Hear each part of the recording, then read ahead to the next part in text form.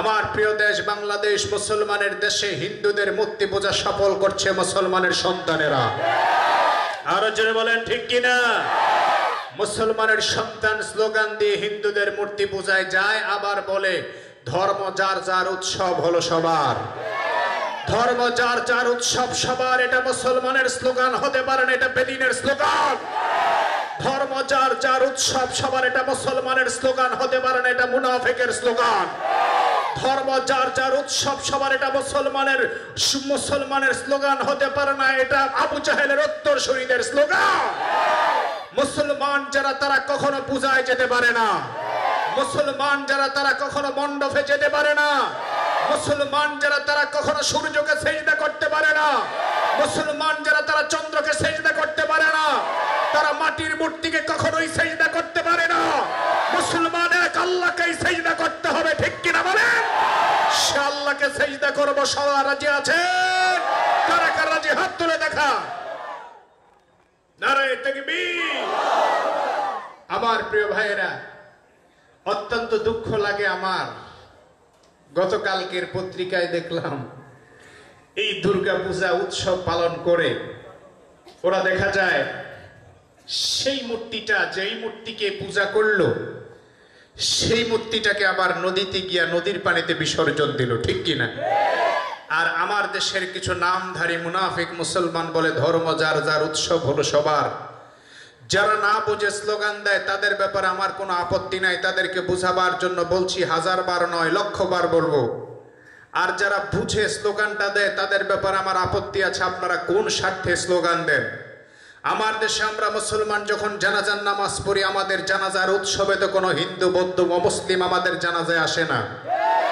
আমরা যখন ঈদের নামাজ পড়ি, তখন আমাদের ঈদের নামাজে কখনো কোনো অমুসলিম শরিক হয় না। আমরা যখন কোরবানি করি, তখন আমাদের কোরবানিতে কোনো অমুসলিম শরিক হয় না। তাহলে ধর্ম যার যার উৎসব হবে সবার। এটা কি শুধুমাত্র হিন্দুদের দুর্গা পূজার ক্ষেত্রে হবে? বৌদ্ধদের জন্মাষ্টমীর পক্ষে হবে। এটাকে শুধুমাত্র খ্রিস্টানদের বড়দিন পালন করার ক্ষেত্রে হবে। এটাকে পহেলা বৈশাখ পালন করার ক্ষেত্রে হবে। মুসলমানের উৎসব যদি সবার জন্যই হয়ে থাকে, আমরা যেমন কোরবানি করি, অমুসলিমরাও কোরবানি করতে হবে। আমরা যেমন নামাজ পড়ি, তাদেরকেও নামাজ পড়তে হবে। বলে নামাজ পড়ার বেলায় নাই, কোরবানির বেলায় নাই, তাহলে স্লোগান বন্ধ করে দাও। স্লোগান হবে এখন, ধর্ম যার, উৎসব হবে তা বলেন, ধর্ম যার উৎসব হবে তার, ধর্ম যার উৎসব হবে তার। ঠিক কিনা বলে ধর্ম যার যার উৎসব সবার স্লোগান মুসলমানের হতে পারে।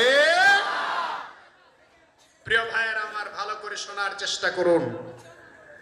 আমার প্রিয় বন্ধুগণ, আমি দেখলাম পত্রিকায় লিখেছে যে ভারতের নদীগুলিতে এত বেশি পরিমাণে মূর্তি ফেলে দেওয়া হয়েছে যে মূর্তির কারণে নদীর পানি দূষণীয় হয়ে যাচ্ছে। সেজন্য ওরা মূর্তিগুলাকে ক্র্যান দিয়া টেনে টেনে উঠাচ্ছে। অবাক করা ব্যাপার, আমি যাকে আল্লাহ বলে সেজদা করলাম, কান্নাকাটি করলাম, সে আল্লাহকে আবার এবাদত করে নদীতে ফেলে দিলাম, সেটা আবার আল্লাহ হয় কেমন করে? এটা তো আমার আল্লাহ হতে পারে। ওরা যে বুক দেয়, খাবার দেয় কলা দেয়, দুধ দেয়, কিছুই কি খাইতে পারে? আরে ভাই, যে মূর্তি নিজের হাতে তৈরি করে আপনার বিবেককে প্রশ্ন করুন, আপনার খোদা তো মৃত খোদা হতে পারে না, জড় পদার্থ আপনার খোদা হতে পারে না খোদা তো তিনি, যিনি সকল কিছু সৃষ্টি করেছেন। খোদা তো তিনি, যিনি গোটা বিশ্ব জগতের একমাত্র মালিক, ঠিক কিনা আল্লাহ তো তিনি, যার কাছে, যার সমকক্ষ দুনিয়ার কেউ হতে পারে না, ঠিক কিনা তাহলে মুসলমান এখন যারা পূজায় যাচ্ছেন, তারা ভালো করে স্মরণ রাখুন, আপনি এখনও পরিপূর্ণ মুসলমান হতে পারেন না, মুনাফেকের খাতা আপনার নামটা রয়ে গেছে। যদি মুসলমান হতে চান, তাহলে তওবা করে আবারও কালিমা পড়ে মুসলমান হয়ে নতুন করে ইমান আমল শুরু করুন, না হয় জাহান নাম ছাড়া উপায় থাকবে না। আল্লাহ ওই সব ভাইদেরকে বোঝার তৌফিক দান করুন।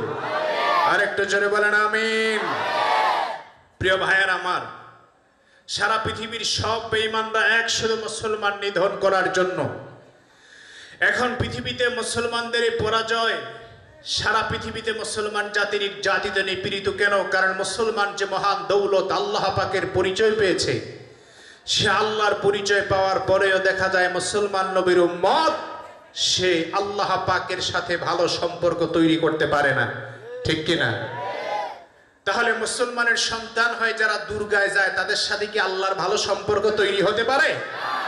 কখনোই হতে পারে না। এজন্য আল্লাহর সাথে ভালো সম্পর্ক তৈরি হতে গেলে আল্লাহকে চিনা দরকার। পৃথিবীর প্রত্যেকটা মানুষের জন্য উচিত আল্লাহকে চিনা। এমনকি তার কাছে যদি কেউ ইসলামের দাওয়াত নাও দেয়, এক আল্লাহর দাওয়াত যদি নাও দেয়, তারপরও উচিত সে আল্লাহ পাকের পরিচয় কি চিনা। আল্লাহ রাব্বুল আলামিন জন্য কোরআনে পাকে বর্ণনা করেছেন, আল্লাহ তাআলা বিশ্বজগতের সব মানুষকে ডেকে বলেছেন, ও পৃথিবীর মানুষেরা, সত্যিকারের জ্ঞানী মানুষ হলো তারা, যারা আমি আল্লাহ পাকের পরিচয় পাওয়ার পরে আমি আল্লাহর এবাদতে লিপ্ত হয়ে যায় ওরাই হলো সত্যিকারের প্রকৃত মানুষ, ওরাই হলো সত্যিকারের জ্ঞানী মানুষ সুবাহান আল্লাহ তাআলা সত্যিকার মানুষের পরিচয় তুলে ধরেছেন। রব্বুল আলমিন কোরআনে পাকে বড় সুন্দর করে বর্ণনা করেছেন। বিসমিল্লাহির রহমানির রহিম।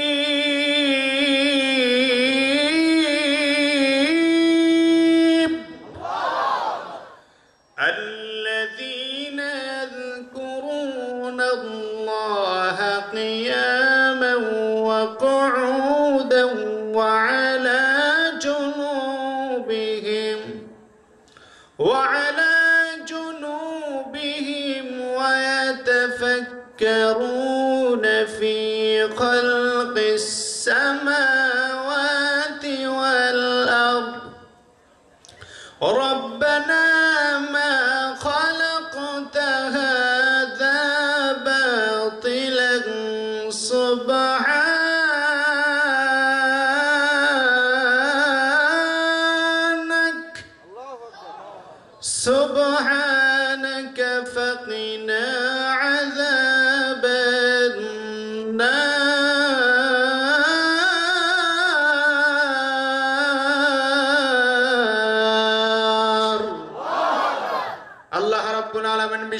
জগতের মানুষদেরকে ডেকে বলেন, ও পৃথিবীর মানুষেরা, ভালো করে শোনো নাও, জ্ঞানী কারা?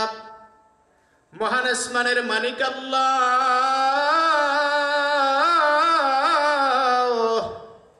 জ্ঞানীর পরিচয় তুলে ধরে বলেন, ও পৃথিবীর মানুষেরা, সত্যিকারের জ্ঞানী হলো তারা। আল্লাহ কিয়ামান ওয়া কুউদা যারা নাকি দাঁড়ানো অবস্থায় বসা অবস্থায় আল্লাহ পাককে স্মরণ করবে। ওয়ালা জুনুবিহিম শোয়া অবস্থায় আল্লাহ পাকের স্মরণ করবে। ফি খালকিস সামাওয়াতি ওয়াল আরদ, আকাশ এবং জমিনের যত সৃষ্টি আছে সব সৃষ্টি নিয়ে গবেষণা করবে। গবেষণা করার পরে বলবে, রব্বানা মা খালাকতা হাদা বাতিলা। ও দয়ার মালিক, আসমানের মালিক, আল্লাহ। আপনি দুনিয়ার কোন জিনিস বেহুদা বানান নাই, বেহুদা বানান নাই। ও দয়ার মালিক, আল্লাহ।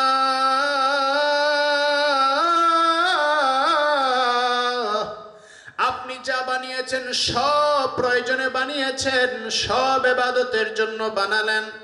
রব্বানা মা খালাকতা হাদা বাতিলা। আয় আল্লাহ, আপনি কোন জিনিস বেহুদা বানান নাই, বেহুদা বানান নাই। ফাকিনা আদা বান্না বান্দা তখন আল্লাহ পাকের কুদরতের পরিচয় পায়া বান্দা সেজদায় পড়ে থাকবে। সেজদায় পড়ে বান্দা জাহান্নাম থেকে মুক্তির ফায়সালার জন্য দোয়া করতে থাকবেন, সুবহানাল্লাহ। এজন্য সত্যিকার জ্ঞানী হলো তারা, যারা জ্ঞান শিখার পরে আল্লাহ চিনে, ঠিক কিনা? আরও জোরে বলেন, ঠিক কিনা? ওই জ্ঞানী মানুষ যারা জ্ঞানের পরিচয় দেয়, কিন্তু অনেক জ্ঞান শিখার পরেও আল্লাহর পরিচয় যারা জানে না, ওরা সত্যিকারের জ্ঞানী হতে পারে না, ওরা পৃথিবীর সবচাইতে নিকৃষ্ট মূর্খ, ঠিক কিনা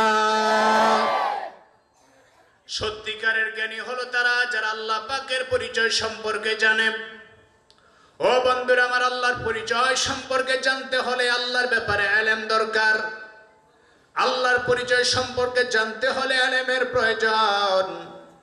এলেম ছাড়া আল্লাহর পরিচয় জানা যাবে না।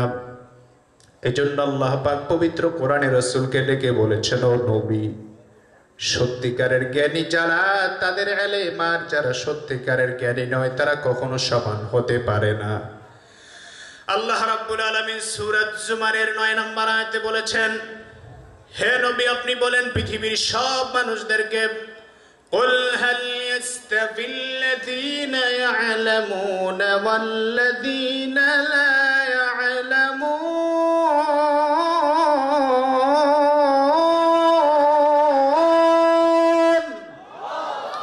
ও নবী আপনি পৃথিবীর মানুষদেরকে বলেন ও পৃথিবীর মানুষেরা هل يستوي الذين يعلمون والذين لا يعلمون যারা জানে আর যারা জানে না, তারা কখনো কি সমান হতে পারে?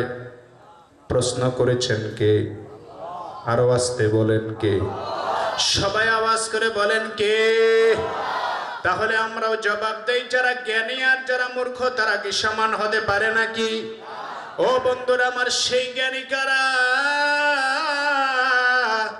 ওই জ্ঞানের কথা আল্লাহ বলেছেন, যেই জ্ঞানী জ্ঞান শিখার পরে আল্লাহর সম্পর্কে পরিচয় পেয়েছেন ওই জ্ঞানীর কথা আল্লাহ বলেছেন, যেই জ্ঞানী আল্লাহর পরিচয় পেয়ে আল্লাহর এবাদতে আত্মনিয়োগ করেন, ও বন্ধু, সেই জ্ঞানী আর যে ব্যক্তি জ্ঞান অর্জন করার পরেও আল্লাহর পরিচয় পাইল না, যারা নাকি বলল দেয়ার ইজ নগট আল্লাহ বলতে কেউ নাই।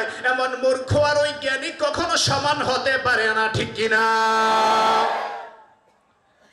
একজন রিক্সাওয়ালা ভালো, যদি ওই রিক্সাওয়ালার মাঝে মহান আল্লাহর পরিচয়ের জ্ঞান থাকে একজন ইঞ্জিনিয়ারের চাইতে ওই রিক্সাওয়ালা ভালো, যে ইঞ্জিনিয়ারের মাঝে আল্লাহর পরিচয় নাই, কিন্তু রিক্সাওয়ালার মাঝে আল্লাহর পরিচয় আছে। ও বন্ধু ইঞ্জিনিয়ারের চাইতে একজন রিক্সাওয়ালা ভালো। শুধু তাই নয়, একজন ডাক্তার যদি আল্লাহর পরিচয় তার কাছে না থাকে, তার চাইতে গ্রামের ওই কৃষক ভালো। একজন সাধারণ মানুষ, দিনমজুর। তার কাছে আল্লাহর পরিচয় আছে, কিন্তু রাষ্ট্রপ্রধানের কাছে আল্লাহর পরিচয় নাই। আল্লাহর কাসাম আল্লাহর কাসাম। এমন রাষ্ট্রপ্রধানের চাইতে দিন মজুরের দাম আল্লাহর কাছে অনেক বেশি, ঠিক কিনা এজন্য বন্ধুরা, যারা আল্লাহ চিনে না, রসুল যারা চিনে না, তাদের সাথে আমাদের কোনো সম্পর্ক জোরে সম্পর্ক? আমরা সম্পর্ক রাখতে চাই আল্লাহওয়ালাদের সাথে। আমরা সম্পর্ক রাখতে চাই কোরআনওয়ালাদের সাথে। আমরা সম্পর্ক রাখতে চাই নবীওয়ালাদের সাথে। আমরা সম্পর্ক রাখতে চাই যারা আল্লাহকে বিশ্বাস করেন তাদের সাথে। ও বন্ধুরা, আমার এই জন্য যারা জ্ঞানী, সত্যিকারের জ্ঞানী, তারা যারা আল্লাহকে চিনতে পেরেছে, মহান আসমানের মালিক, আল্লাহর দুয়ারে পড়ে থাকে, দয়ার মালিক আল্লাহ। আমারে ক্ষমা করে দাও, আমাকে ক্ষমা করে দাও। গভীর রজনীতেও কান্দে আর বলে দেয়ার মালিক আল্লাহ।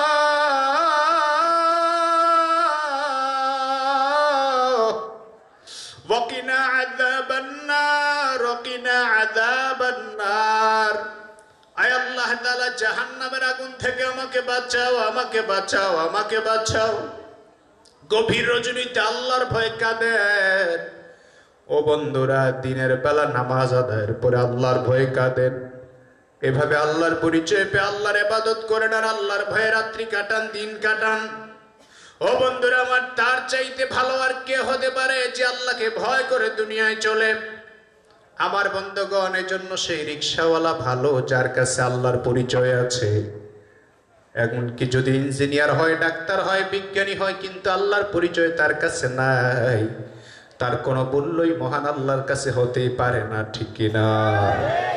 এই জন্য একজন মুসলমানের জন্য দুনিয়া আল্লাহ ঠিক রেখেছেন। যেদিন দুনিয়া মুসলমান থাকবে না, সেদিন আল্লাহ দুনিয়াও রাখবে না, গোটা দুনিয়াটা ধ্বংস হয়ে যাবে। ও বন্ধু, যেদিন মুসলমান থাকবে না, সেদিন গোটা পৃথিবী ধ্বংস হয়ে যাবে। এজন্য পৃথিবীর যত নাফরমান, বেঈমান আছে, সব মুসলমানের কাছে ধরা। ও বেইমানেরা তোমরা আমাদের কাছে ঋণগ্রস্ত ঋণী। আমরা না থাকলে তোমাদের বেইমানের কোনো মূল্য আল্লাহর কাছে হতে পারে না, ঠিক কিনা আমার ভাইয়ারা এই জন্য ওই জ্ঞানী যেই জ্ঞানী ডাক্তার হয় নাই, ইঞ্জিনিয়ার হয় নাই, প্রফেসর হয় নাই, বিজ্ঞানী হয় নাই, নির্বিজ্ঞানী হয় নাই, মহাবিজ্ঞানী হয় নাই, কিন্তু তার কাছে আল্লাহর জ্ঞান আছে, আল্লাহর এলেম আছে। সেই মানুষটি অনেক ভালো অনেক ভালো। কেমন ভালো বন্ধু? নৌকাওয়ালা নৌকার মাঝি নৌকা যখন চালায়, রাতের বেলা নৌকা নিয়ে রওনা হয়ে গেছে। যাত্রী একজন ভূগোলের শিক্ষক। যাত্রী যখন রওনা হয়ে সামনের দিকে যায়, নৌকাতে ওঠার পরে যাত্রী না মাঝিকে জিজ্ঞেস করেন, মাঝি ভাই আপনি ভূগোল কি পড়েছেন মাঝি বলে? ভূগোল আবার কোন জিনিসের নাম? আমি তো ভূগোল পড়ি নাই, ভূগোল সম্পর্কে ধারণা আমার নাই। আবার জিজ্ঞেস করে, হে মাঝি ভাই, আপনি কি ইতিহাস পড়েছেন? মাঝি ডাক দিয়ে বলেন, ইতিহাসের জ্ঞান তো আমার নাই। মাঝি ভাই, আপনি কি গণিত পারেন? তিনি বলেন, গণিতের জ্ঞান তো আমার নাই। আপনি কি ইংরেজি পারেন বলে না, ইংরেজির জ্ঞান আমার নাই। এবার ওই মাস্টার সাহেব ডাক দেয়া বলে, তাহলে মাঝি, আপনার জীবনের তো ষোলো ভাগের আট ভাগ শেষ। ষোলো আনা আর আটানার জীবন আপনার বরবাদ হয়ে গেল, আর আটানা তো বাকি আছে। মাঝি কোনো কথা বলে না, চুপচাপ জবাব দেওয়ার মতো ভাষা মাঝির কাছে নাই। এবার নৌকা চলতে লাগল, তালের গতিতে আমার বন্ধুগণ, নৌকা যখন চলতে লাগল, নৌকা চলতে চলতে যখন নদীর মাঝখানে চলে যায়, হঠাৎ করে ঢেউটা বেরিয়ে গেল। নদীর উত্তাল তরঙ্গ ঢেউ যখন নৌকার সাথে বাড়ি মারা শুরু হলো। নৌকা একবার ডানে যায়, আবার বামে যায়, আবার নৌকার মাঝে পানি উঠতে থাকে। নৌকার মাঝি তখন নৌকার যাত্রীকে ডাক দিয়ে বলে, হে মাস্টার মশাই আপনাকে জিজ্ঞেস করি নদীতে যেভাবে উত্তাল জোয়ার শুরু হয়ে গেছে, আপনি কি সাঁতার জানেন? নৌকার বাজির প্রশ্নের জবাব দিতে পারল না। আল্লাহর বান্দা মাস্টার মশাই ডাক দিয়া বলে, হে মাঝি ভাই, আমি তো সাঁতার জানি না। বলে, যদি সাঁতার না জানেন, তাহলে বিশাল নদী কেমনে পারি দিবেন? নৌকা যদি ডুবে যায়। তখন নৌকার মাঝি ডাক দিয়া বলে, ও আল্লাহর বান্দা, তাহলে ভালো করে শুনুন। আমি ইতিহাস পড়ি নাই, ভূগোল পড়ি নাই, রসায়ন পড়ি নাই, বিজ্ঞান পড়ি নাই। এই জন্য আমার জীবনের ষোলো আনা আর আট আনা বরবাদ হয়ে গেল। আর আপনি তো সাঁতার জানলেন না, আপনার জীবনের তো ষোলো আনার ষোলো আনাই বরবাদ হয়ে গেল। আমার ভাইয়ারা, যারা নাকি শুধুমাত্র কোরআনের আলেম, তারা তো এমন সাঁতার জানে, তারা সাঁতরা জাহান্নাম পার হয়ে জান্নাতে যেতে পারবে, ঠিক না আর যাদের কাছে কোরআনের এলেম নাই, বড় বড় ডিগ্রি অর্জন করে বন্ধ। জানাজা কেমনে পড়তে হবে জানে না, অজু কেমনে করতে হবে জানে না, ও বন্ধুরা আমার, কোরবানি কেমনে করতে হবে জানে না, হজ কেমনে করতে হবে জানে না।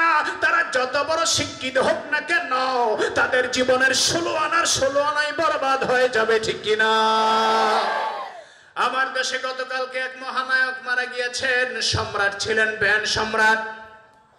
আয়ুব বাচ্চু মারা গিয়েছেন। ও বন্ধুরা, আমার শুধু তাই নয়, আর কয়েক মাস আগে মারা গিয়েছিলেন আমার দেশের আরেক তারকার নায়ক রাজ রাজ্জাক মারা গিয়েছেন। মারা যাওয়ার পরে তাদের জানাজা হয়েছিল। তাদের জানাজার চিত্র আমরা দেখলাম। ওই পর্দার, আমাদের দেশে তো এখন পর্দা দুই রকম হয়ে গেছে, অরিজিনাল পর্দা উঠে গেছে। আরে কথা কয় না। কিরে ভাই, ওয়াজ কি খারাপ লাগতেছে নাকি? শরীয়তের পর্দা উঠে গেছে, পর্দা এখন দুই রকম হয়ে গেছে। এখন একটা হলো ছোট পর্দা, আর একটা হলো বড় পর্দা। কথা বলে না। বুঝেন নাই আপনারা? ছোট পর্দায় কাজ করে কারা? যারা নাকি নায়ক। ছোট পর্দায় অভিনয় করে, তার মানে নাটক মাটক বানায়। আর বড় পর্দায় কাজ করে যারা সিনেমা হলের ছবি বানায়। এখন আমার দেশের পর্দা হয়ে গেছে ডিজিটাল পর্দা, দুই রকম পর্দা। ঠিক কিনা বলে আমার প্রিয় ভাইয়েরা, ওই পর্দার মহানায়ক যারা, তারা জানা যায় শরিক। কথা বুঝতেছে ওরা জানাজার নামাজ পড়বে, দুঃখ, এত বড় সম্রাট, ওরা পপ সম্রাট, পপ তারকা। জানাজার নামাজ কেমনে পড়বে, এটা তাদের জানা নাই। কাউকে দেখলাম ওরা ডান হাতের উপরে বাম হাত বাইতে রাখছে।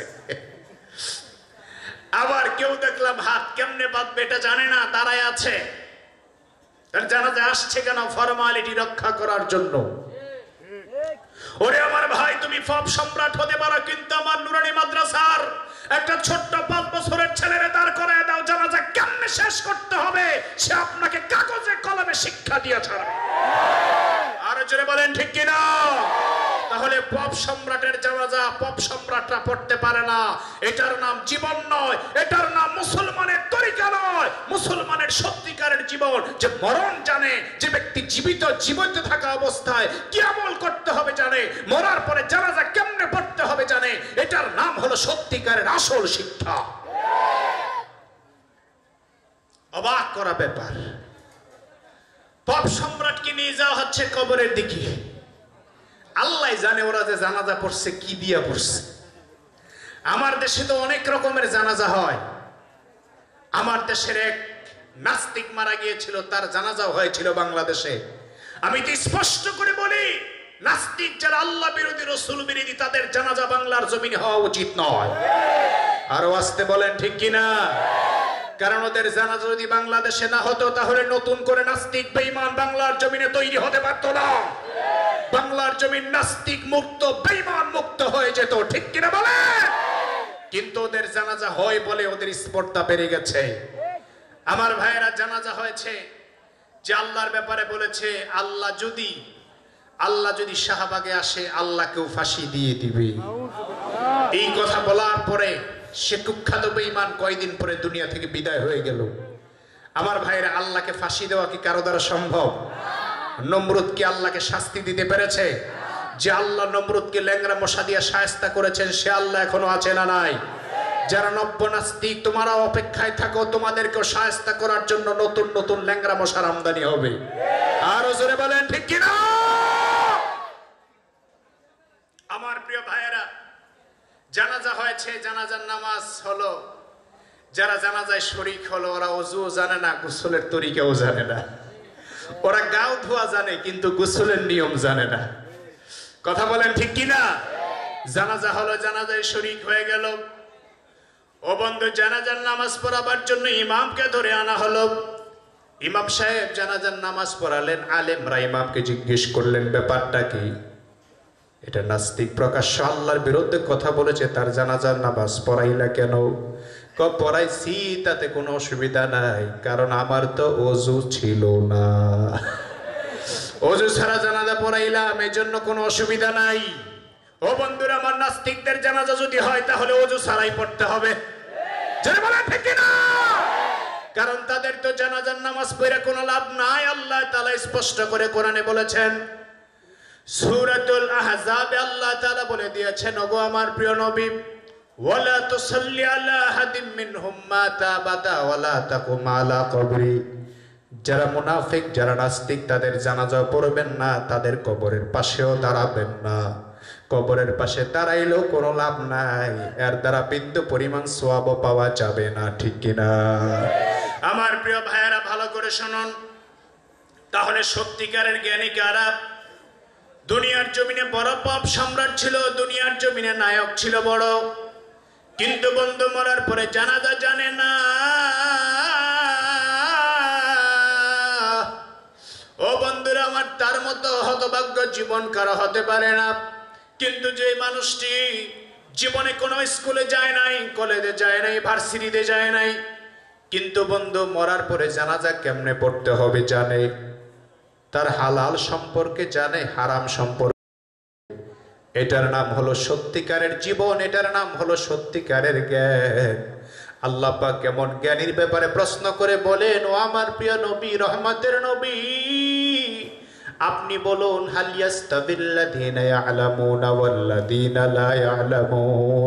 আপনি বলুন, যারা জ্ঞানী আর যারা মূর্খ, তারা কি সমান হতে পারে? আল্লাহই প্রশ্ন করেছেন। আমরা বলব না, তারা সমান হতে পারে না। ও বন্ধুরা আমার, সত্যিকারের জ্ঞানী যারা, আর যারা মূর্খ সতীয়তের জ্ঞান নাই, তারা কোনোদিনই সমান হতে পারে না, তারা কোনোদিনই সমান হতে পারে না। এজন্যই তো আমরা দেখতে পাই, যাদের কাছে কোরআন, হাদিসের জ্ঞান নাই, ওরা যত বড় ভার্সিটিতে পড়ুক না কেন, বাবার সাথে কি আচরণ করতে হবে জানে না, ওস্তাদের সাথে কি আচরণ করতে হবে জানে না, ঠিক কি না আমার প্রিয় ভাইয়ারা এই জন্য আমরা দেখতে পাই সন্ত্রাসী আর অত্যাচারে। যারাই নাকি সন্ত্রাসী হামলা চালায়, অত্যাচার যারা চালায়, বন্ধু, একটা মাদ্রাসার ছাত্র পাওয়া যায় না। কোনো মাদ্রাসার ছাত্র জঙ্গি হয় না, সন্ত্রাস হয় না, চাঁদাবাজ হয় না। কেন হয় না? কারণ তার কাছে সত্যিকারের জ্ঞান আছে। আমার ভাইয়ের একদল মানুষ তো এখন তৈরি হয়ে গেছে, ওরা চায় যাতে বাংলাদেশে কোনো আলেম ওলামা না থাকে। অথচ তাদের ব্যাপারে আমাদের কোনো হিংসা নাই। নাস্তিক যারা, আমরা বলি, তোমরা খাও, তোমরা চলো তোমাদের পথে। আমাদের কিনে মন্তব্য করবা না। আমাদের কিনে মাস্তানি করার চেষ্টা করবা না। কিন্তু যদি তোমরা আমাদের কিনে মাস্তানি করার চেষ্টা করো, বাংলাদেশের ষোলো কোটি মুসলমান যদি থুতু নিক্ষেপ করে, তাহলে তোমরা বাংলাদেশ পার হয়ে, বঙ্গোপসাগর পার হয়ে চলে যেতে বাধ্য হয়ে যাবা। ঠিক কিনা বলে? আমরা বলি, তোমরা যেমন আছো, তেমনি থাকো। তোমাদের ব্যাপারে আমাদের কোনো আপত্তি নাই। কিন্তু বন্ধুরা আমার, ওরা তো আপত্তি করে বেড়ায়, আলেমদের ব্যাপারে মন্তব্য করে বেড়ায়, বাজে মন্তব্য করে মনে হয় যেন বাংলাদেশটা তাদের। ওরা মনে হয় বাংলাদেশে আলেমদেরকে রাখবেই না। একদল মানুষ তো এমনই চায়, টুপিওয়ালা, দাড়িওয়ালা দেখলেই পরে চুলকানি শুরু হয়ে যায়, ঠিক কিনা হুজুর দেখলে হুজুর, আস্তে হাঁটলেও দোষ ধরে, জোরে হাঁটলেও দোষ ধরে। আস্তে হাঁটলে কয়, হুজুর মনে হয় বেশি খায় পেট বাড়ি করছে। জোরে হাঁটলে কয়, মোল্লা মনে হয় কারও বাড়িতে দাওয়াত পাইছি। আমরা আস্তে হাঁটলেও দোষ, জোরে হাঁটলেও দোষ। যারা কোরআনকে ভালোবাসে, তারা কোনোদিন আলেম ওলামাদের দুশ্মনী করতে পারে। যারা কোরআনকে ভালোবাসে, তারা কোনোদিন আলেমদের বিদ্বেষ করতে পারে। যারা মাদ্রাসাকে ভালোবাসে, যারা মসজিদকে ভালোবাসে, যারা নামাজি, যারা দিনদার, ওরা কখনো আলেমদের বিরুদ্ধাচরণ করতেই পারে না, ঠিক কিনা? ও বন্ধুরা আমার, এই জন্য এখন তারা চেষ্টা শুরু করেছে, আলেম ওলামা যেন না থাকে দুনিয়াতে। আমি আপনাদের কাছে স্পষ্ট করে বলতে চাই, যতদিন পৃথিবীতে সূর্য থাকবে, চন্দ্র থাকবে, ততদিন আলেম ওলামা থাকবে, ঠিক না? যতদিন পৃথিবীর জমিনে আজান থাকবে, ততদিন পৃথিবীতে আলেম ওলামা থাকবে। যতদিন পৃথিবীর জমিনে আল্লাহ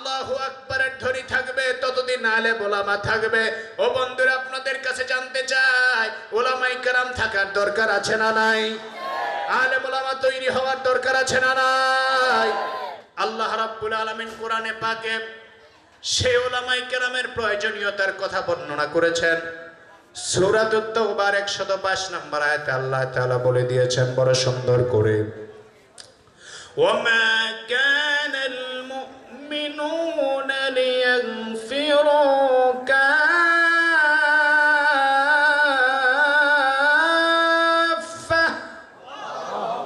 আরেকটু জোরে কোন আল্লাহ আকবার দুর্বল হয়ে গেছেন আপনারা ঠিক আছেন তো আলোচনা কি চলবে না বন্ধ হয়ে যাবে আলোচনা চলবে কতক্ষণ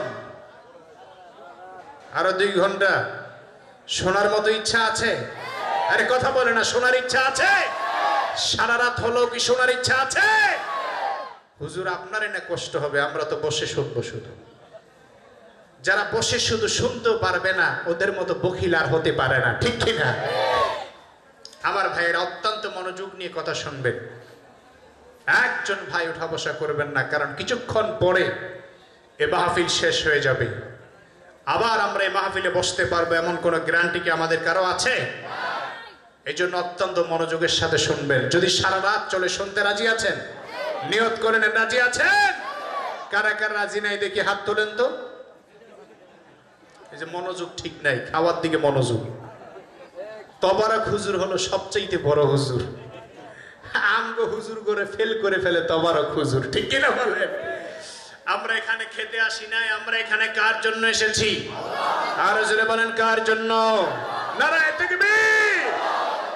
এই জন্য বন্ধুরা যতক্ষণ আল্লাহর কথা হবে ততক্ষণ আমরা এখানে থাকবো ঠিক কি না আমার প্রিয় ভাইয়ারা আল্লাহ রাব্বুল আলামিন ওলামায়ে কেরামের কথা বর্ণনা করেছেন সূরাতুত তাওবার 122 নম্বর আয়াতে আল্লাহ বড় সুন্দর করে বর্ণনা করেছেন ওয়ামা কানাল মুমিনুনা লিয়াগফিরু منهم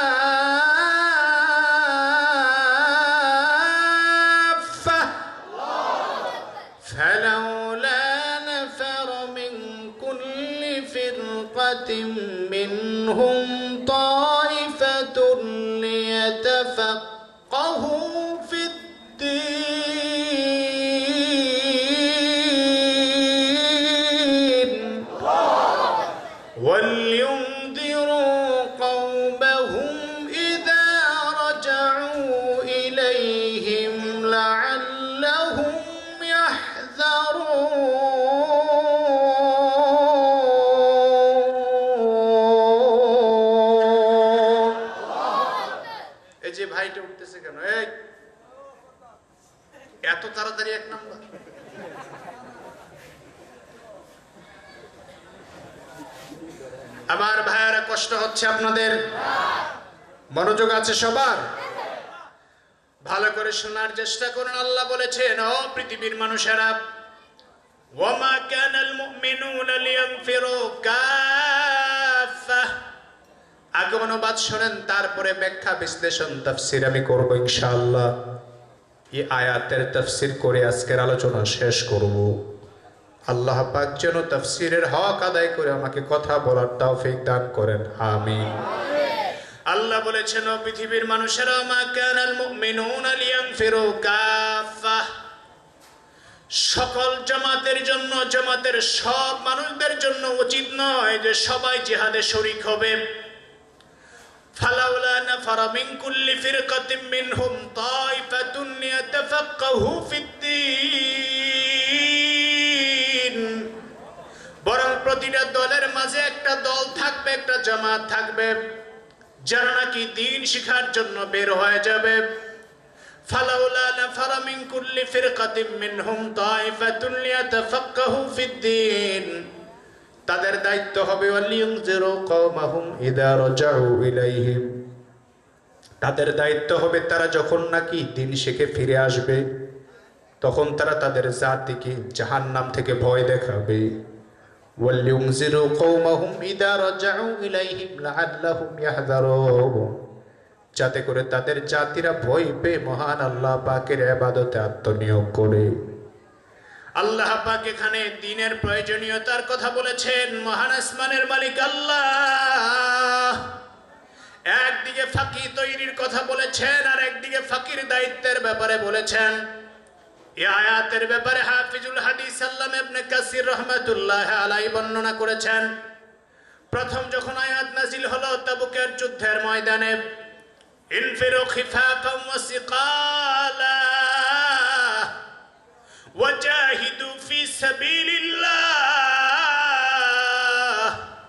যখন কোরআন পাকের আয়াতটা নাজিল হলো ও মুসলমান যুবকেরা এ মুসলমান বৃদ্ধরা তোমরা আল্লাহর জন্য জিহাদে বের হয়ে যাও, জিহাদে বের হয়ে যাও। ওরে বন্ধু, জিহাদ ইসলামের মাঝে আছে না নাই?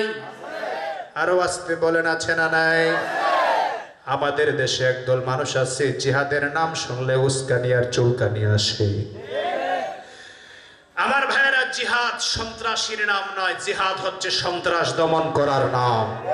জিহাদ যদি আজকে পৃথিবীতে থাকতো, তাহলে পৃথিবীর বুকে মুসলমানদের উপর মাতবরি করার ক্ষমতা কোনো নাফরমানের হতো না। জিহাদ যদি আজকে বিশ্বের বুকে থাকতো, তাহলে মায়ানমারের মুসলমানেরা বাংলাদেশে আশ্রয় নেওয়ার প্রয়োজন হতো না। জিহাদ যদি বিশ্বের বুকে থাকতো, ওয়াইসি নামক সংগঠন থাকার পরে আরাকানের জমিনে মুসলমান রক্তাক্ত হতো না। জিহাদ নাই বলে সন্ত্রাসীরা উস্কানি দেওয়ার সুযোগ পায়, ঠিক কিনা বলে? আমরা সেই জিহাদ যদি কখনো আসে, আল্লাহর পক্ষ থেকে বিধানতি অবতীর্ণ হয়, যদি আবার কখনো বিশ্বের মুসলমানের জন্য জিহাদের ডাক আসে, সেই জিহাদের আহ্বানে শরিক হতে রাজি আছি না নাই? কারা কারা জিহাদ তুলে দেখায়? আমার প্রিয় ভাইয়েরা, জিহাদের প্রয়োজন আছে না নাই? জিহাদ মানে সন্ত্রাস নয়, জিহাদ হচ্ছে সন্ত্রাসকে দমন করার নাম। জিহাদ যদি পৃথিবীতে থাকতো, মুসলমানরা আজকে জিম্মি জাতি হয়ে থাকতো না, ঠিক কিনা বলেন? জিহাদ করেছেন আল্লাহর নবী। ওই জিহাদের কঠিন ময়দানে, তাবুকের যুদ্ধের ময়দানে আল্লাহর হাবিবকে আল্লাহ আদেশ করেছিলেন। এই তাবুকের যুদ্ধের কঠিন মুসিবতের দিন কোন মুসলমান যেন ঘরে না থাকে, সব যেন জিহাদে চলে। আল্লাহ রাব্বুল আলামিন আয়াত যখন নাজিল করে দিলেন, মদিনার বৃদ্ধ মানুষ যারা, তারা জিহাদের জন্য রওনা হয়ে গেলেন। মদিনার যুবক যারা, তারাও জিহাদের জন্য রওনা হয়ে গেলেন। ও বন্ধু, জিহাদ তো মামার বাড়ির কলা নয় শ্বশুর বাড়ির মুরগির রান নয়। জিহাদ তো এমন একটা জিনিসের নাম, যে জিহাদে নাম লেখালে হয়তো মরলে শহীদ, না হয় বাঁচলে গাজী। জীবন দিতে এতটা পাগল পাড়া, এতটা পাগল পাড়া, জোরে কান আল্লাহ আকবার। সাহাবাই কেরাম জীবন দিতে পাগল পাড়া ছিলেন বলেই বন্ধু। ওই ইসলাম পৃথিবীতে, ও ইসলাম পৃথিবীতে, ও ইসলাম পৃথিবীতে, পৃথিবীর বিভিন্ন প্রান্তে প্রান্তে ছড়িয়ে পড়েছে। সাহাবাই কেরাম জীবন দিয়েছেন বলেই ইসলাম গোটা দুনিয়াতে ছড়িয়ে পড়েছে। সাহাবাই কেরাম এতটা পাগল পাড়া হয়ে গিয়েছেন, জিহাদের নাম শুনে এতটা পাগল পাড়া হয়ে গিয়েছেন। বৃদ্ধ মানুষগুলি জিহাদের জন্য রওনা হয়ে যায়। যুবকরা জিহাদের জন্য রওনা হয়ে যায়। ওহুদের ময়দানের এক চিত্র হাদিসে পাওয়া যায়। এক বুড়া মানুষ খোরা মানুষ ল্যাংরা হাঁটতে পারে না। জিহাদের ময়দানে গিয়ে শরিক হয়ে গেলেন। বুড়া মানুষ যখন জিহাদে যায়, তখন তার স্ত্রী ডাক দিয়ে বলেন ও আমার প্রাণের স্বামী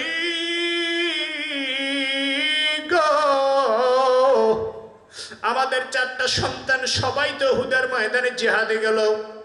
আপনি বুড়া বয়সে যাবার কোনো দরকার নাই, বুড়া হয়ে গেছেন খোরা মানুষ, আপনি ল্যাংরা মানুষ। আল্লাহ তো বলেছেন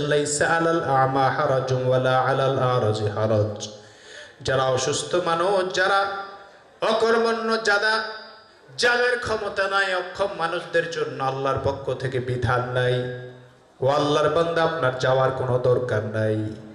কিন্তু পুরা মানুষ বলে, আমি যাব জেহাদে যাব।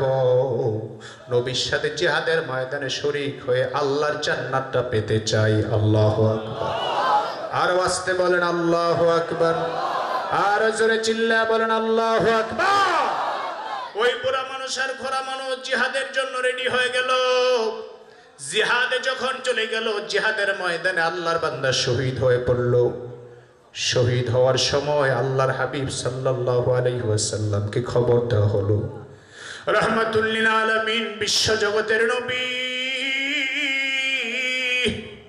ওই ল্যাংরা মানুষের পাশে দাঁড়ালেন। এমন সময় তার ছেলের আসলো রসুলের কাছে। ইয়া রাসূলুল্লাহ সাল্লাল্লাহু আলাইহি ওয়াসাল্লাম, বাবার লাশটা নিয়ে যেতে চাই। রহমাতুল্লিল আলামিন রেখে বললেন তোমাদের বাবার লাশটা পারলে নিয়ে যাও যদি মনে চায়। কিন্তু যেই মাত্র লাশটাকে উঠায়া ওরটাকে বাড়ি দেয়। বাড়ির দিকে যাওয়ার জন্য ওরটা বাড়ির দিকে যায় না, একটা কদম সামনে দেয় না। ওটের পিঠে বারবার আঘাত করে তারপরও সামনের দিকে ওরটা চলে না। বুড়া মানুষ ল্যাংরা মানুষ, সেই মানুষটি জিহাদের ময়দানে সে শহীদ হয়ে গেলেন। ও বন্ধু, তারপরও সামনের দিকে যায় না, তারপরও সামনে যায় না। যতই ওটকে আঘাত করে, ততই ওট দাঁড়ায় থাকে, সামনের দিকে যায় না। শেষ পর্যন্ত আল্লাহর হাবিবকে ঘটনা জানানো হলো, রহমতের নবী এসে জিজ্ঞেস করলেন, তোমাদের বাবা যখন বাড়ি থেকে বের হয়েছেন, তখন কি কোনো দোয়া করেছিলেন নাকি? তখন তার স্ত্রী ডেকে বলেন, ইয়া রাসূলুল্লাহ সাল্লাল্লাহু আলাইহি ওয়াসাল্লাম আমার স্বামীকে আমরা তিরস্কার করে বলেছিলাম, জেহাদে গিয়ে আপনি কি করবেন? তখন আমার স্বামী বলেছিল, আল্লাহর বান্দি, জেহাদে গিয়ে আমি শহীদ হব। আমি আল্লাহ পাকের জান্নাতে যাব, আমি আল্লাহর জান্নাতটা পেতে চাই। এই কথা বলে আমি তিরস্কার করলাম আর বললাম, তোমার মতো লেংরা মানুষ জেহাদে গিয়া লাভ নাই লাভ নাই লাভ নাই। তখন তিনি ঘর থেকে বের হয়ে ঘরের দরজায় দাঁড়ায় একটা দোয়া করলেন আল্লাহ তারুদনি ইলা আহলি। আল্লাহ, আমি বের হয়ে যাচ্ছি আর আমার বাড়ি ফিরাইও না, বাড়ি ফিরাইও না। জাতি মরার জন্য জীবন দিতে প্রস্তুত হয়ে যায়, ওই জাতিকে পরাজিত করা জন্য সম্ভব হয় না, ঠিক মরতেই হবে যখন শহীদি মরণ দিও আমাকে। শাহাদাত মানি শুধুই জীবন সে জীবন দিও আমাকে, মরতেই হবে যখন। শহীদ মরণ দিও আমাকে। সাহাবাই কেরাম মরার জন্য পাগল ছিলেন জন্য সাহাবিদেরকে পরাজিত কেউ করতে পারে নাই। মুসলমান জাতি যদি এখনও জিহাদের জন্য প্রস্তুতি গ্রহণ করে, মুসলমান জাতির উপর মাস্তানি করার ক্ষমতা কারোই হতে পারে না, ঠিক কিনা?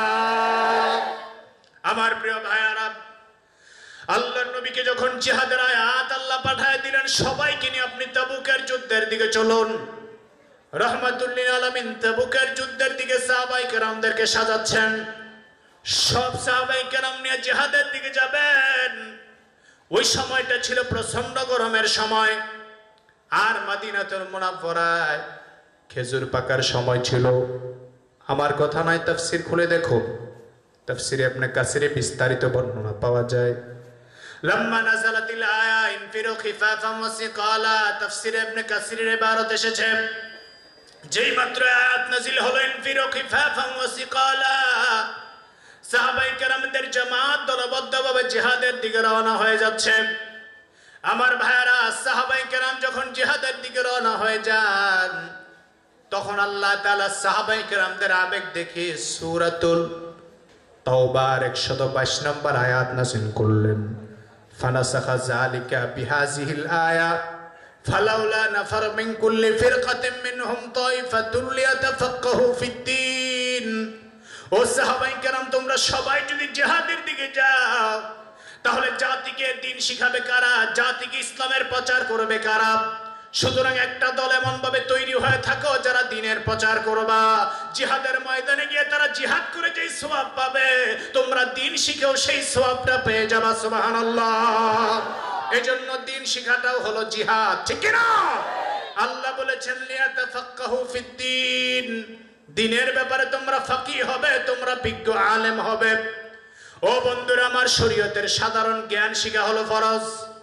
যেমন শরীয়তে আপনাকে নামাজ আদায় করতে হবে। নামাজ কি? কথা বলে না। ফরজ জোরে বলেন কি? রোজা রাখা কি? নামাজ পড়া ফরজ, রোজা রাখা ফরজ জাকাত দেওয়া ফরজ। এখন নামাজ কেমনে পড়বেন? নামাজের এলেমটা শেখাটাও আপনার জন্য ফরজ। রোজা রাখবেন, কেমনে রাখবেন? রোজার এলেম শেখাটাও ফরজ। ও বন্ধুরা, আমার জাকাতের মালিক আপনি জাকাত কেমনে দিবেন? ওই জাকাতের বিধানটাও আপনার জন্য জানা আল্লাহ ফরজ করে দিয়েছেন। কিন্তু বন্ধু, এখন মুসলমানদের সন্তানদের মাঝে দুঃখ লাগে। অনেক মুসলমানের সন্তান উজু করার নিয়ম জানে না। কি দুঃখ কোথায় রাখব রে মুসলমান? শ্বশুর বাড়ি বেড়াতে গেল জামাই সাহেব। জামাই সাহেব বলেন, মাস্টার ডিগ্রি পাশ করা। জীবনেও কোনোদিন বক্তব্য যায় নাই, মাদ্রাসায়ও যায় নাই। উজু করার নিয়ম তো জানেই না ঠিক মতো নামাজ কেমনে পড়ায়? মাস্টার ডিগ্রি জামাই পায় শ্বশুর বাড়ির লোকেরা অনেক খুশি। ফজরের আজান হলো বন্ধ, ফজরের নামাজ পড়ার জন্য। চাচা শ্বশুর নিয়ে আসলেন জামাইকে ধরে, জামাই সাহেব, আপনি আজকে ফজরের নামাজটা পড়াবেন। জামাই কয় আনতা বড় বিপদে পড়লাম, আমি ফজরের নামাজ কেমনে পড়াবো? আমি তো ফজরের নামাজ কেমনে পড়াবো? ইমামতের যোগ্যতা আমার নাই। প্রতিটা মুসলমানের সন্তানকে ইমামতি করার যোগ্যতা অর্জন করতে হবে, ঠিক কিনা না? হয় বন্ধুরা যে বাংলাদেশের এক ব্যারিস্টার সাহেব ঈদের নামাজে যখন ঈদের নামাজ পড়া হচ্ছে, ইমাম সাহেব ঈদের নামাজ পড়ার সময় তার অজু ছুটে গেছে। হঠাৎ করে পিছন থেকে বাতাস বের হয়ে অজু চলে গেছে। এবার ওনার পিছনেই বরাবর ছিল ব্যারিস্টার সাহেব। ব্যারিস্টারকে সামনে ধারায় দাঁড় করায় দিলেন। ব্যারিস্টার সাহেব মাই খ্যাতি নিয়ে বললেন, আমি এখন কি করিব? মানে কি করব এটা তিনি জানেন না। অথচ মুসলমানের সন্তান, প্রতিটা সন্তানকেই, প্রত্যেকটা সন্তানকেই ইমামতি করার যোগ্যতা অর্জন করতেই হবে, ঠিক কিনা আমার প্রিয় ভাইয়েরা, ভালো করে শুনুন। অত্যন্ত দুঃখজনক ব্যাপার। এখন জামাই সাহেব কি ইমামতির মুসল্লায় দাঁড় করায় দিলেন? জামাই সাহেব চিন্তা করলেন, দেখি মুসল্লিদের মার্কা কেমন? এক নাম্বার মুসল্লি হলে এক নাম্বারের ইমামতি চলবে। কিন্তু চাচা শ্বশুর যখন একামত দেওয়া শুরু করলেন, একামত দিতে গিয়ে বললেন, কুদু কমাতিস সালা, কুদু কমাতিস সালা কত কমাতিস সালা। চাচা শ্বশুর ঠিক মতো বলতে পারল না। জামাইকে অসুবিধা নাই, এমন মার্কা মুসল্লিদের সাথে নামাজ পড়াইতে আমার কোনো আপত্তিও নাই। এবার তিনি নামাজ শুরু করলেন, কোন রকমের সুরায় ফাতেহা পড়লেন, সর্বশেষ তিনি সুরায় নাচ পড়লেন, এই দুইটা সুরাই পারেন, আর কোন সুরা পারেন না। সেই আয়াতকে পাল্টা পাল্টা সামনে পারলেন পড়লেন। ও বন্ধুরা আমার, এবার প্রথম রাকাত পড়লেন, দ্বিতীয় রাকাত কি দিয়া পড়বেন, মাথায় চিন্তা ঢুকলো, সিজদায় গিয়া। আগে তো বাঁশের চালের। মসজিদ ছিল সানি ছিল বাঁশের চালের। ও বন্ধু, দ্বিতীয় সেজদায় গিয়া যখন চিন্তা হলো, কি দিয়া দ্বিতীয় রাকাত পড়াবো? মসজিদের ভাঙ্গা বেড়া দিয়া দৌড় মাইরা শ্বশুর বাড়ি এসে ঘুমায় গেছে। এবার শাশুড়ি কয়, জামাই সাহেব, এত তাড়াতাড়ি করে নামাজ পড়ে আসলেন, নামাজ কি পড়লেন না? কয়, আরে বললেন না, আপনাদের এলাকার লোকেরা আমার ইমামতির দিছে। আমি কি ইমামতির যোগ্য নাকি? মুসল্লিরা তো সেজদায় পড়েই আছে। কই ইমাম সাহেব গেল কই? ইমাম সাহেব রে খুঁজে বের কর। শাশুড় শ্বশুর ঘরে দেখে ইমাম সাহেব কি ব্যাপার ইমাম সাহেব অবস্থা কেন? ইমাম সাহেব বলে, চাচা শ্বশুর, আপনারে কে বলছে আমার দিতে? ও বন্ধুরা, আমার এটা হাসির খোরাক নয়, এটা দুঃখজনক ব্যাপার। আপনার সন্তান মাস্টার ডিগ্রি পাশ করতেই পারে, কিন্তু তাকে অবশ্যই নামাজ পড়ার অজুর তরিকা জানতে হবে, জানাজার নামাজ পড়ার নিয়ম তাকে জানতেই হবে। জোরে বলেন, ঠিক কিনা আল্লাহ বলেছেন বন্ধুরা, আমার রসুল বলেছেন তারা বললে এলমে ফারিদাতুন আলা কুল্লি মুসলিম। সব মুসলমানের জন্য দিনী এলেম শিক্ষা করা ফরাজ। আপনি আলেম হন, আপনি মুফতি হন, আপনি ডাক্তার হন, ইঞ্জিনিয়ার হন, আপনাকে অবশ্যই দিনী এলেম শিখতেই হবে বন্ধ। কিন্তু সবাই দিনের ফকি হবে না। ফকি হবে একদল ফকি হবে একদল যারা দিনের গবেষণা করবেন মানুষ যখন সমস্যায় পড়বে, সমাধান করবেন। এখন তো বন্ধু তাকায় দেখেন, ফেরকারা বাবা মার দেশে নয় এমন ভাবে ফেরকা নিয়ে টানাটানি শুরু হয়ে গেছে। ইমান রাখা বর্তমানে কঠিন হয়ে গেছে, ঠিক কিনা? ও বন্ধুরা, আমার তরিকার অভাব নাই, দরবারের কোনো অভাব নাই। আমার দেশে তো এখন দেখা যাচ্ছে নতুন নতুন ফেরকা চালু হয়েছে, আমদানি হয়েছে। একদল কয়, আমরা হলাম আহলে কোরআন। আমি একজনকে জিজ্ঞেস করলাম, আপনি আহলে কোরআন কেমনে হলেন? তিনি বলেন, আমি শুধু কোরআন মানি, হাদিস মানি না। ভালো করে শুনবেন বন্ধুরা, যারা শুধু কোরআন মানবেন, হাদিস মানবেন না, সে ব্যক্তি ভণ্ড, প্রতারক, ধোকাবাজ। বলে, হুজুর, তাহলে কোরআন মানলে কি আমি সত্যিকারের মুমিন হতে পারব না? আমার ব্যাখ্যা ভুল বুঝবেন না বন্ধ, কোরআন পড়তেই হবে আপনাকে, তবে কোরআনের সাথে সুন্নাও মানতে হবে। ঠিক কিনা বলেন এখন সেকে আমি বললাম, ভাই, আপনি নামাজ কয় রাকাত পড়েন? সে আমাকে বলল, আমি শুধুমাত্র দুই রাকাত নামাজ পড়ি। ফজরও দুই রাকাত জোহরও দুই রাকাত আসরও দুই রাকাত আমি বললাম, দুই রাকাত নামাজ কই পাইলেন? আল্লাহ তো কোরআন শরীফে শুধু নামাজ পড়ার কথা বলেছেন এই জন্য আমি যখনই পড়ি, দুই রাকাত পড়ি।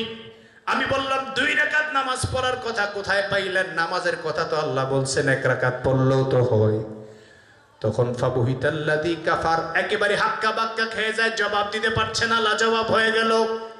আরেক দল আমার দেশে আমদানি হয়েছে, যারা শুধু হাদিস মানে কিন্তু কোরআন মানে না, আর সাহাবাই কেরামদের তরিকা মানে না, ঠিক না ও বন্ধুরা, আমার তাদের ব্যাপারে মেসেজ দিয়ে যায়, তাদের ব্যাপারেও সাবধান।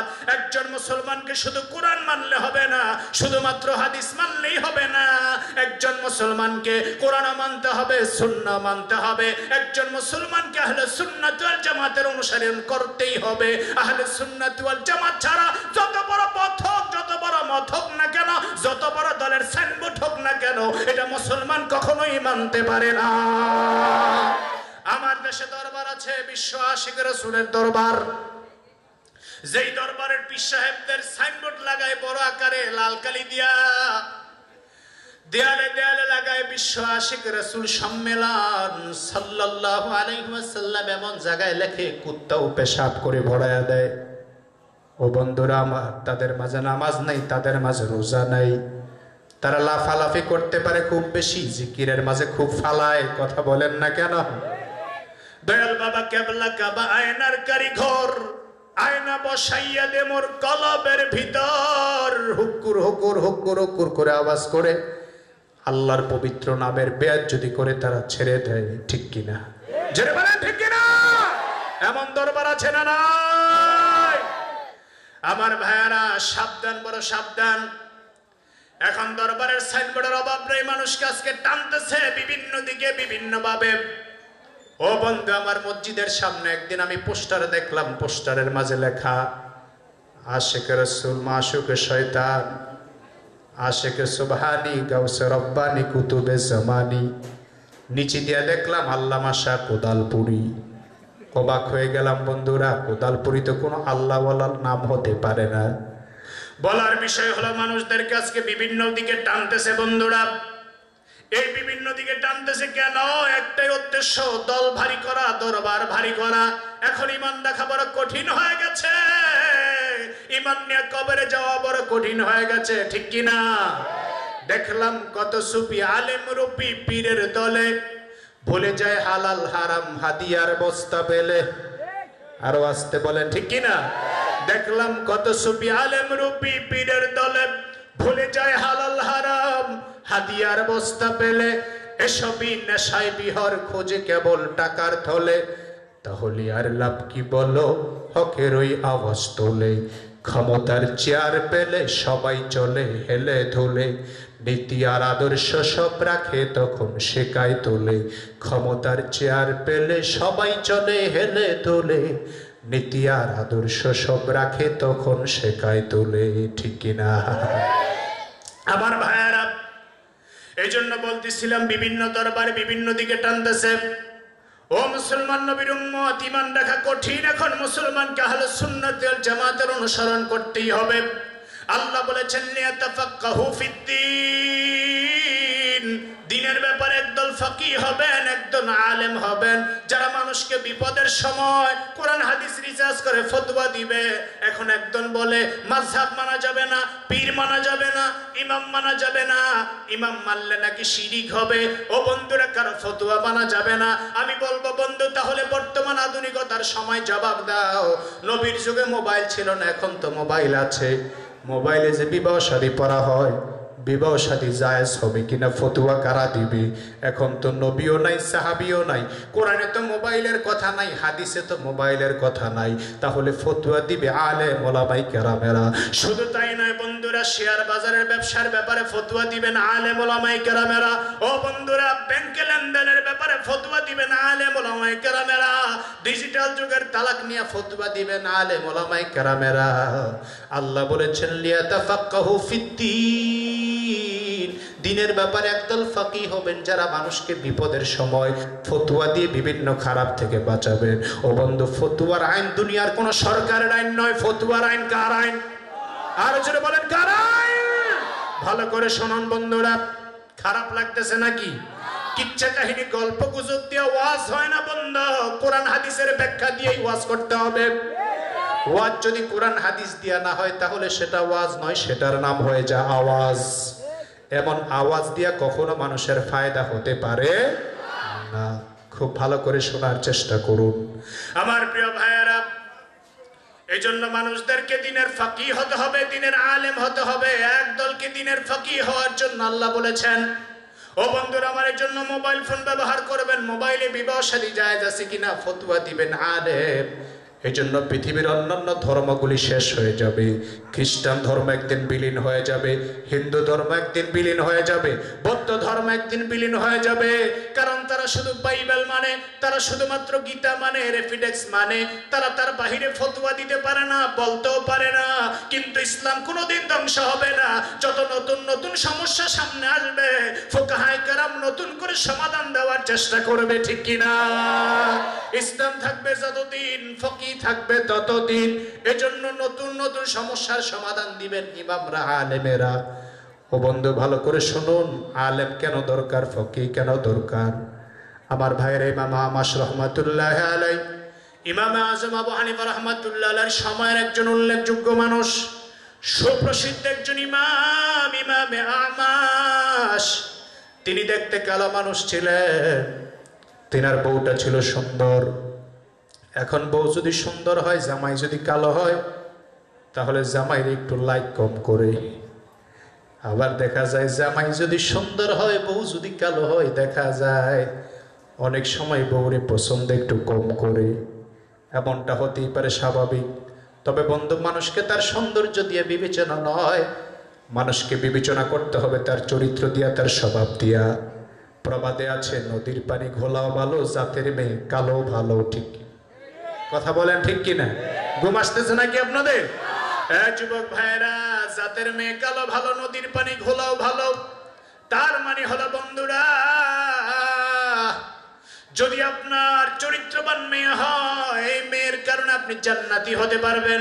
আর চামড়া সুন্দর, কিন্তু চরিত্র ভালো নয়, নষ্ট মেয়ে যদি হয়, ওই মেয়ের কারণে আপনাকে জাহান নামে যাওয়াও লাগতে পারে, ঠিক কিনা?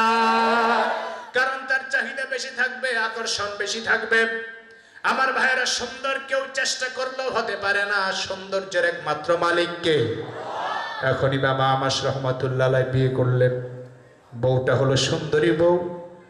বউ তো জামাইরে তেমন লাইক করে না, পছন্দ করে না। একদিন মামা আমাস বাহির থেকে ভিতরে ঢুকলেন, ঘরের ভিতরে। হজরত ইমামা আমাস রহমতুল্লাহ আলাই বললেন স্ত্রীর সাথে কথা বলতেছেন, কিন্তু বেগম সাহেব আজকে নিয়ত করে ফেলেছেন। আজকে কোনো কথার জবাব তিনি দিবেন না। ইমামা আমার যতবার জিজ্ঞেস করেন, ততবার তিনি প্রশ্নের উত্তর এড়ায় যান জবাব দিতে চান না। ইমামা আমাস রহমতুল্লাহ বিরক্ত হয়ে গেলেন। বিরক্ত হয়ে এমন কথা বলে ফেললেন। বিরক্ত হয়ে মামা আমাস বলে ফেললেন, যদি আজকের ফজরের আজানের আগে তুমি কথা না বলো, তাহলে তুমি তিন তালাক প্রাপ্ত হয়ে যাবা। শর্তটা অত্যন্ত কঠিন দিয়ে দিলেন। যদি ফজরের আগে কথা না বলো, তাহলে তিন তালাক প্রাপ্ত হয়ে যাবা। ও বন্ধু, শর্ত অনুযায়ী যদি ফজর আজান হয়, তাহলে স্ত্রী তিন তালাক প্রাপ্ত হয়ে যাবে। এবার বেগম সাহেব এত খুব মনে মনে খুশি, যাক, এতদিন পরে কাল্লা মানুষ থেকে সার পাবো, মুক্তি পাবো। আমার ভাইয়েরা ফজর আজানের অপেক্ষা করতে লাগলেন। ইমাম আমাস রহমতুল্লাহ আলাই মাথায় চিন্তা শুরু হয়ে গেল, আমি যে বললাম, ফজর আজান হলে তো বেগম তিন তালাক প্রাপ্ত হয়ে যাবে। দৌড় দিলেন ইমামে আজম আবু হানিফা রহমতুল্লাহ দরবারে। সালাম দিলেন গভীর রাত ইমাম আবু হানিফা। তাকে দেখি মামা আজম আবু হানিফা রহমতুল্লাহ মাসালার গবেষণায় নিয়োজিত আছে। রাত্র গভীর কিন্তু কোরআন হাদিসের মাসালা গবেষণায় রত আছেন তিনি। সালাম দিয়ে ভিতরে ঢুকলেন, হুজুর, এত রাত আপনি কেন আসলেন? ইমাম আমাজ ডেকে বলে, হুজুর, বিপদে পড়ে গেলাম, সমাধান চাই। আমি তো আমার স্ত্রীকে বললাম যে, ফজর, আগে কথা না বললে তুমি তিন তালাক প্রাপ্ত হয়ে যাবা। ইমাম আজম আবু হানিফা বলেন, আপনি বাড়ি যান, আপনার স্ত্রী তালাক প্রাপ্ত হবে না, ফতুয়া আমি দেওয়ার ব্যবস্থা করতেছি, আল্লাহ আকবার। আর কোন আল্লাহ আকবার। ও আমার এমন ফতুয়া তো নাই, হাদিসে নাই, তাহলে সমাধান দিবে? জন্য বলেছেন ফিদ্দিন, দিনের সমাধান দান ঠিক কি না ফিদ্দিন, দিনের সমাধান দিবে। এই ফতোয়ার ব্যাপার তো নাই, হাদিসেও নাই, এজমাতেও নাই, তাহলে সমাধান কেমনে দিবে? ইমাম আবু হানিফা রহমাতুল্লাহ আলাই বললেন তাহলে একটা কাজ করো, আপনি চলে যান, আমি আপনার স্ত্রী যেন ছুটে না যায়, সেই ব্যবস্থাটা করতেছি। উনি চলে গেলেন, স্ত্রীর সাথে শুয়ে আছেন। হঠাৎ করে আজান দেওয়া শুরু হয়ে গেল। আল্লাহ আকবার, আল্লাহ আকবর। আল্লাহ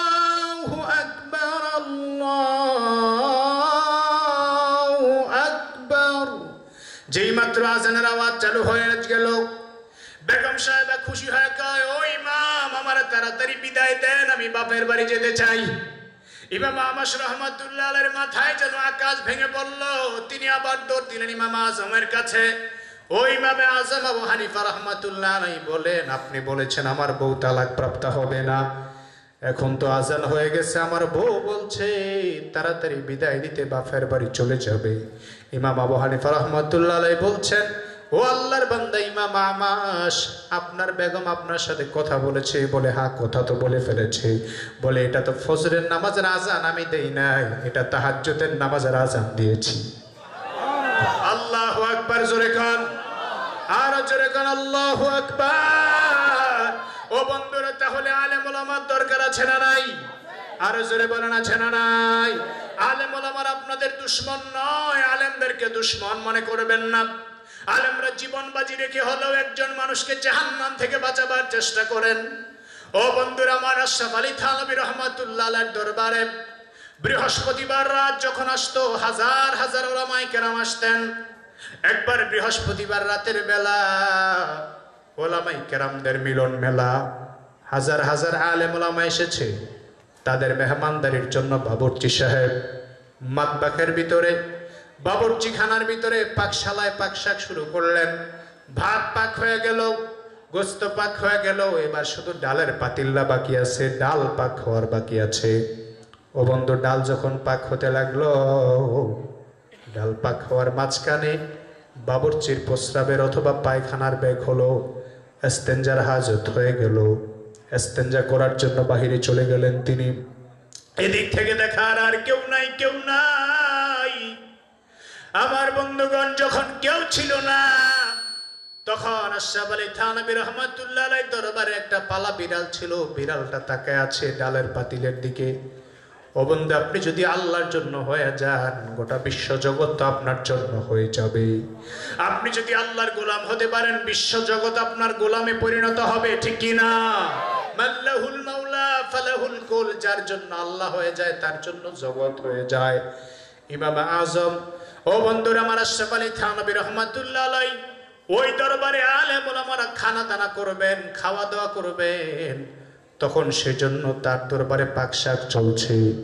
হঠাৎ করে ডালের পাতিল থেকে, ডালের পাতিল থেকে, ডালের পাতিল আমার ভাইয়েরা ঢাকনা ছেড়ে রেখে যখন বাবরচি চলে গেল, বাবরচি আবার অনেকক্ষণ পরে ফিরে আসলো। আসার পরে বিড়ালটা দেখা যায়, বারবার বাবরচির জামা ধরে টান দেয়, বারবার বাবরচির জামা ধরে টানে আর ডালের পাতিলের দিকে বারবার যায়। কিন্তু বাবরচি বুঝে না কেন বিড়ালটা আমাকে বারবার টানতেছে। হঠাৎ করে বিড়ালের মনে, আমার ভাইয়েরা, বাবরচির চিন্তা শুরু হয়ে গেল। ব্যাপারটা কি? বিড়াল আমার বারবার কেন টানে? বারবার কেন টানে? বুঝে আসলো না। বিড়াল বারবার টানার পরও যখন বুঝে আসে না, তখন বাবুর্চি তাকায় দেখেন বিড়ালটা আস্তে করে পাকশালার ঘরের উপরে উঠা বিড়ালটা নিজের জীবনটা বিলীন করে দিয়া, বিড়ালটা ঝাঁপ দিয়া পড়ে গেলেন ডালের পাতিলের মধ্যে আর ডাতেল, ডাল গরম পাতিলের মধ্যে পরেই যখন বিড়ালটা প্রায় হয়ে যায়, সঙ্গে সঙ্গে ডালের পাতিলের পাতিলের ডালগুলি যখন ফেলে দেওয়া শুরু করলেন, তখন চিন্তা শুরু হয়ে গেল, বিড়ালটা কেন জীবনটা বিসর্জন করল? ডালের পাতিলের ডালগুলি ফেলে দিয়া তাকায় দেখেন ওই বাবরচি যখন বাহিরে গিয়েছিলেন, তখন এক বিশাল বড় সাপ ডালের পাতিলে পড়ে গিয়েছিল। ওই সাপ যখন পড়েছিল, বিষাক্ত সাপ, ওই সাপ ওই সাপ পড়ার কারণে ওই সাপের ওই সাপের প্রায় হওয়া খাবার যদি আলেমরা খায়, আলেমদের জীবন চলে যাবে। সেই জন্য বিরাট বাবুর্চিকে বুঝাতে চায়। ও বাবুর্চি, ডালটা ফেলে দাও, ডালটা ফেলে দাও। কিন্তু বারবার বুঝাবার পরেও ফেলে দেয় না। শেষ পর্যন্ত বিড়াল নিজের জীবনটা বাজি রাখা। আলেমদের সম্মানে নিজের জীবনটা পর্যন্ত বিলে দিল। এরে বন্ধু, এটার নাম তো পশু একটা বিড়াল দেখা যায়। মনিবের সন্তুষ্টির জন্য জীবন বিলে দেয়। ওলামাই কারাম তেমনি ভাবে সাধারণ মানুষদেরকে জাহান্নামের রাস্তা থেকে বাঁচাবার জন্য বারবার টানে আর বলে, আল্লাহর বান্দা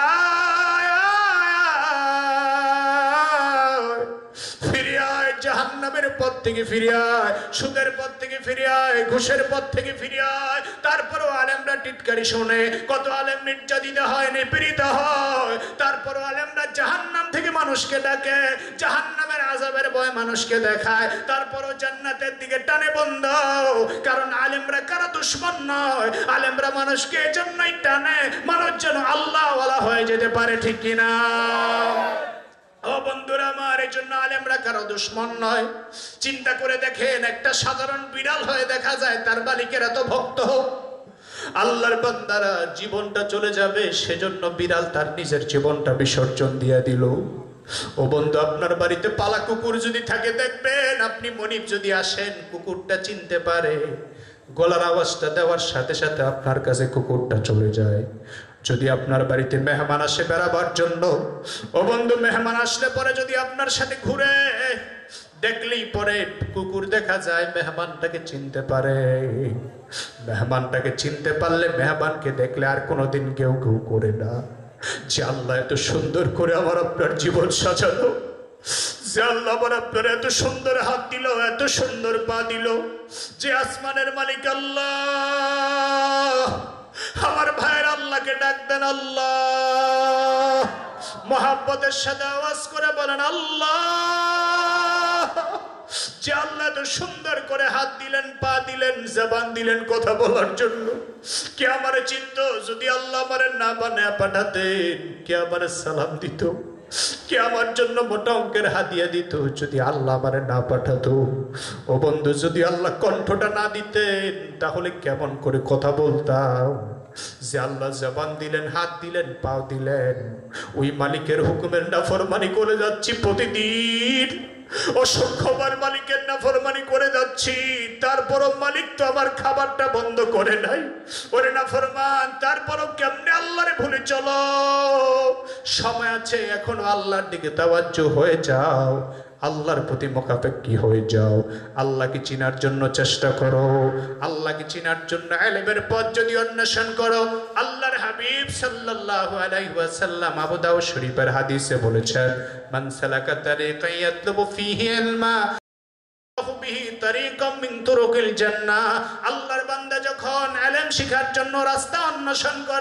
তখন আল্লাহ তার জন্য জান্নাতের রাস্তা খুলে দেয়, সুবহানাল্লাহ। وإن الملائكة لتزوجني حتى هاردا لطالب العلم طالب العلم এর জন্য আকাশের ফেরেশতারা রহমতি জান্নাতি পর বিছায়া দেয় পাকা বিছায়া দেয় وإن العالم لا يستغفر له من في السماوات ومن في الأرض والحيطان في جوف الماء طالب العلم এর জন্য আকাশ এবং জমিন দোয়া করে, আকাশ জমিনে যা আছে সব তার জন্য মাগফেরাত কামনা করে। এমনকি পানির মাছ পর্যন্ত তার জন্য দোয়া করতে থাকে। তারপরে আল্লাহর হাবিব ডেকে বলেছেন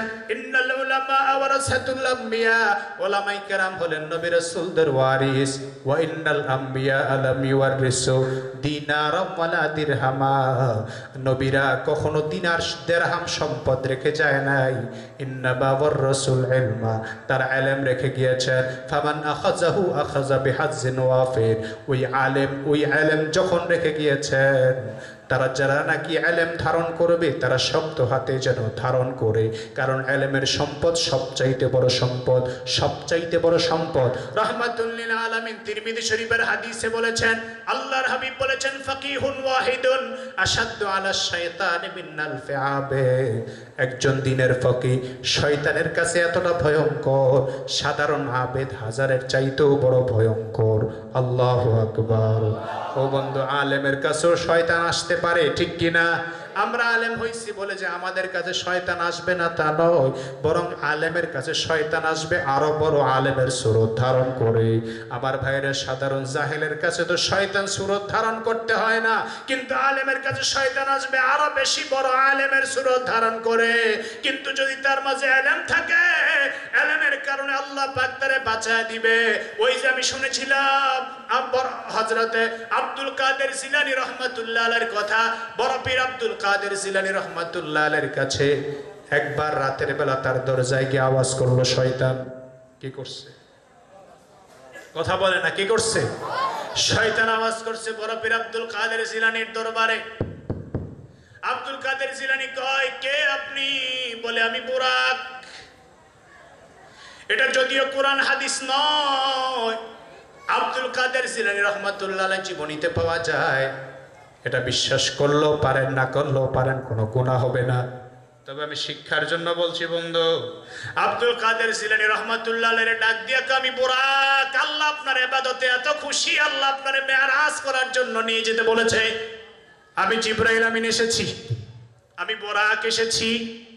এই কথা বলার সঙ্গে সঙ্গে হজরত আব্দুল কাদের জিলানি রহমতুল্লাহ চিন্তা শুরু হয়ে গেল। নবী রসুলদের জন্য আল্লাহ জিব্রাইল পাঠালেন, বোরাক পাঠালেন।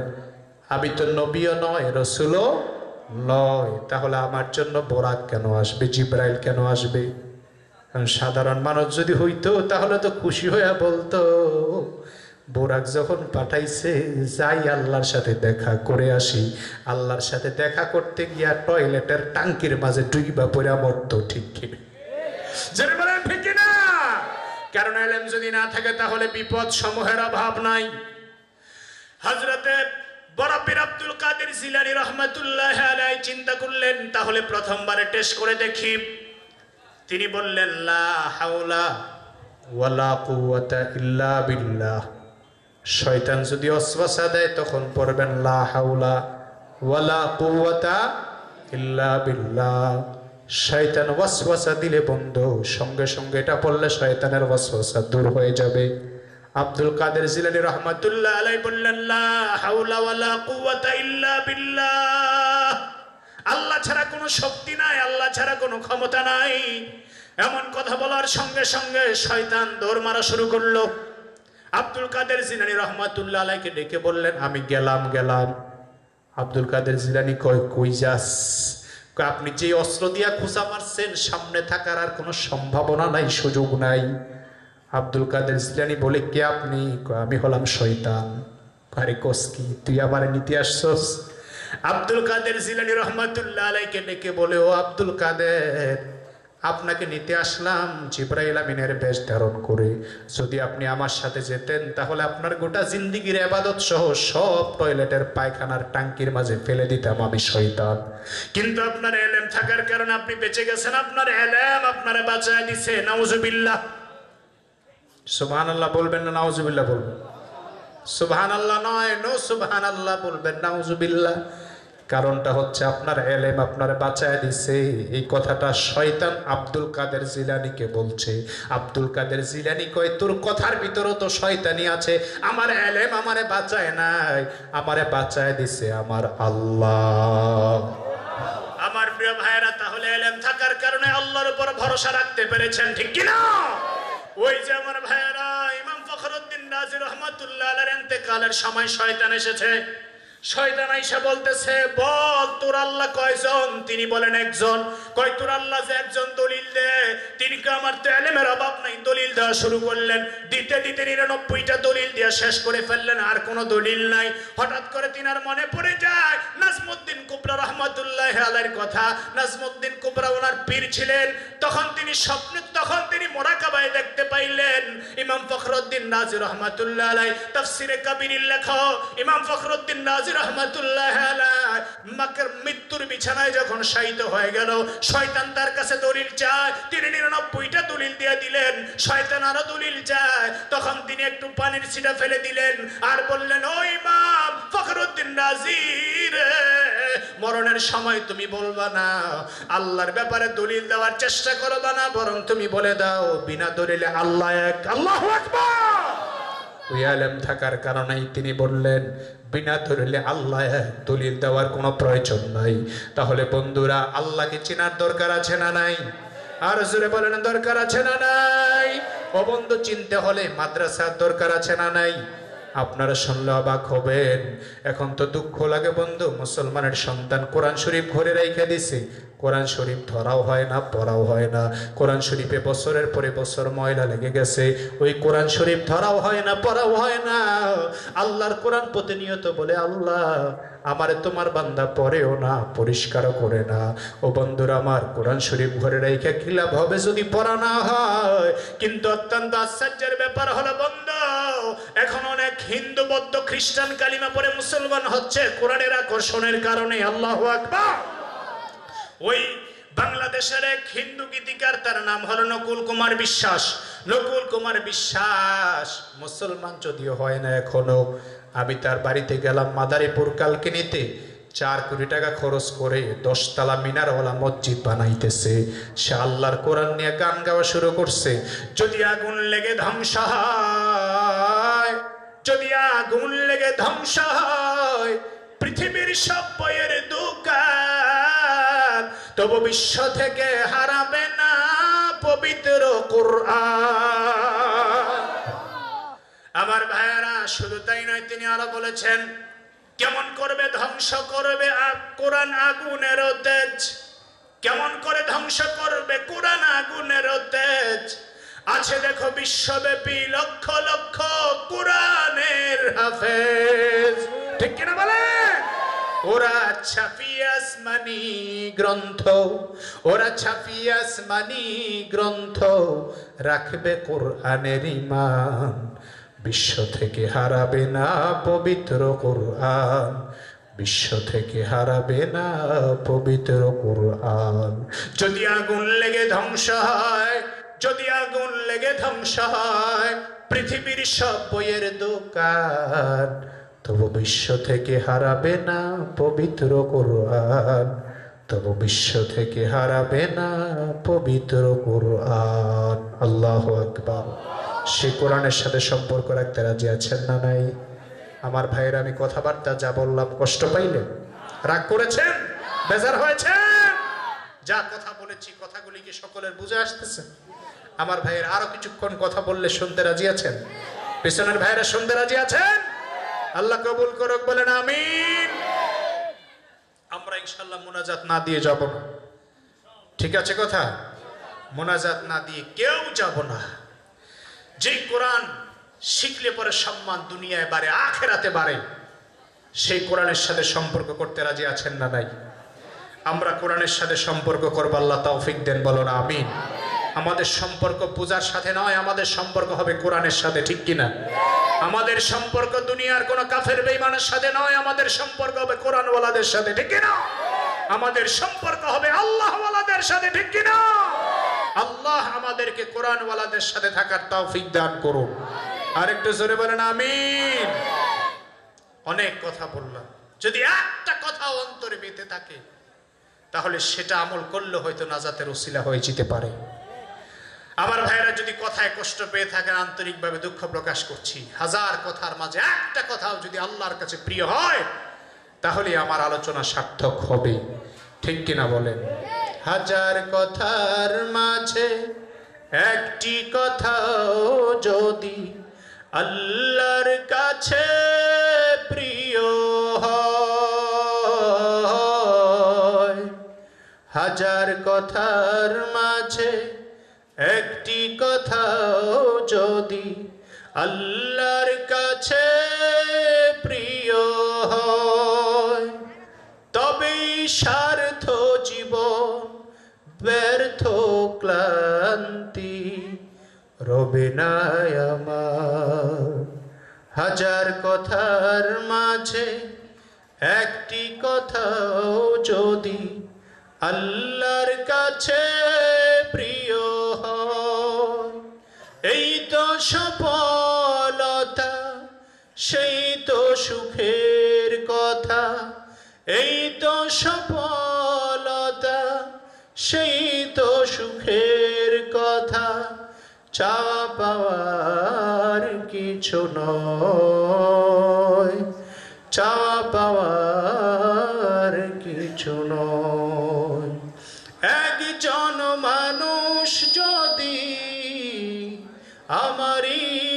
কথা শুনে আলোকের দিশা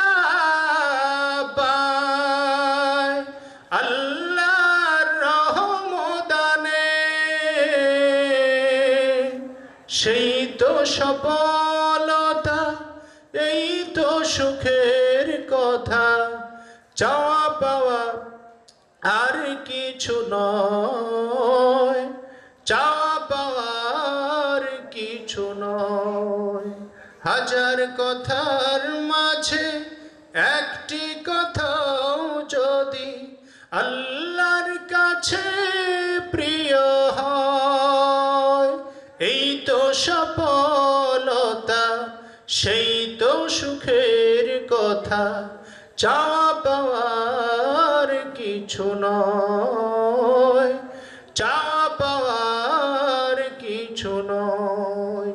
মারহাবা আল্লাহ আমাদের আজকের এই মাহফিল কবুল করুন মোনাজাত করব দোয়া করব ইনশাআল্লাহ দোয়ার আগে একটু সামান্য সময় চাই আল্লাহর কোরআনের ঘর মাদ্রাসায় মোহাম্মদ ওয়ালা আলী মোহাম্মদ কেমা সাল্লাই তালা ইব্রাহিম وعلى آل إبراهيم إنك حميد مجيد اللهم بارك على محمد وعلى آل محمد كما باركت على ابراهيم وعلى ال ابراهيم انك حميد مجيد درود شريف পড়ুন সবাই اللهم صل على سيدنا ونبينا وشفيعنا وحبيبنا ومولانا محمد صلى الله عليه وعلى اله واصحابه وبارك وسلم اللهم صل على سيدنا ونبينا وشفيعنا وحبيبنا مولانا محمد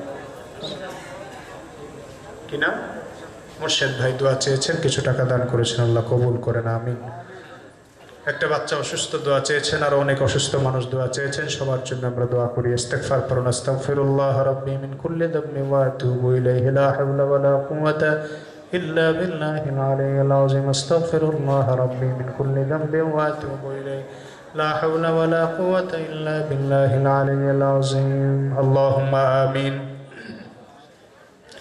الحمد لله رب العالمين والصلاة والسلام على سيد المرسلين وعلى آله وأصحابه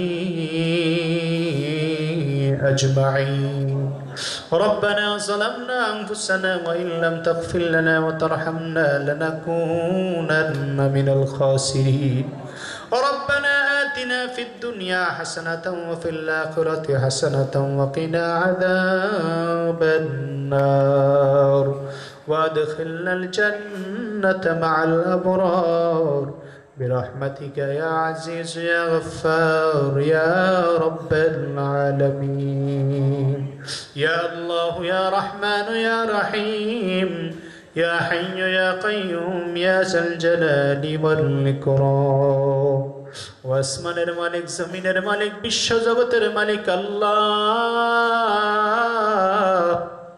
তাকে দেখো মালিক প্রায় দুই ঘন্টার কাছাকাছি হয়ে গেল আমি গুনাগার তোমার কালামে পাক থেকে কথা বললাম, তোমার বান্দারা সাধক পাখির শ্রবণ করেছে।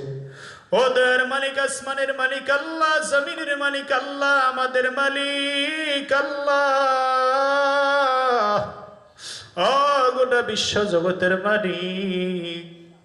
আমরা তোমার আর শাহিমের দিকে, এতিমের মতো, ভিক্ষুকের মতো দুটি হাত বাড়ায় দিলাম গো মাওলা। তোমার আরশের দিকে তাকায় দেখো। তোমার আর শাহিমের দিকে তাকায় দেখলে মনে হবে আমাদের হাত দুইটা বড়, ছোট বড়, নগণ্য। রব্বুল আলমিন, হাত দুইটা বাড়াইলাম ভিক্ষুকের মতো, এতিমের মতো। তোমার দরবার জীবনের গুনার জন্য ক্ষমা চাই, মাফ চাই, দয়া করে আমাদের জীবনের তামাম গুণাগুনি মাফ করে দাও। ইয়া রাব্বাল আলামিন আল্লাহ। জানি না কোন দিন জানি মালাকুল মওত আজরাইল সামনে হাজির হয়ে যায়। আল্লাহ, তোমার দরবারে ফরিয়াদ, জাহান্নামের আসামি বানায় আমাদের কাউকে কবরে নিও না।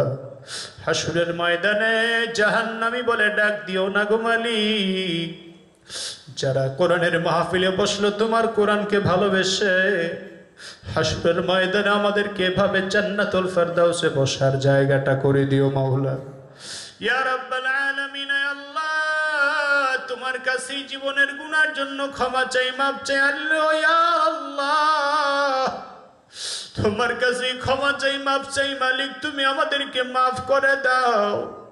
তুমি যদি মাফ না করো, আল্লাহ, বলো আমরা কার দুয়ারে যাব মালিক?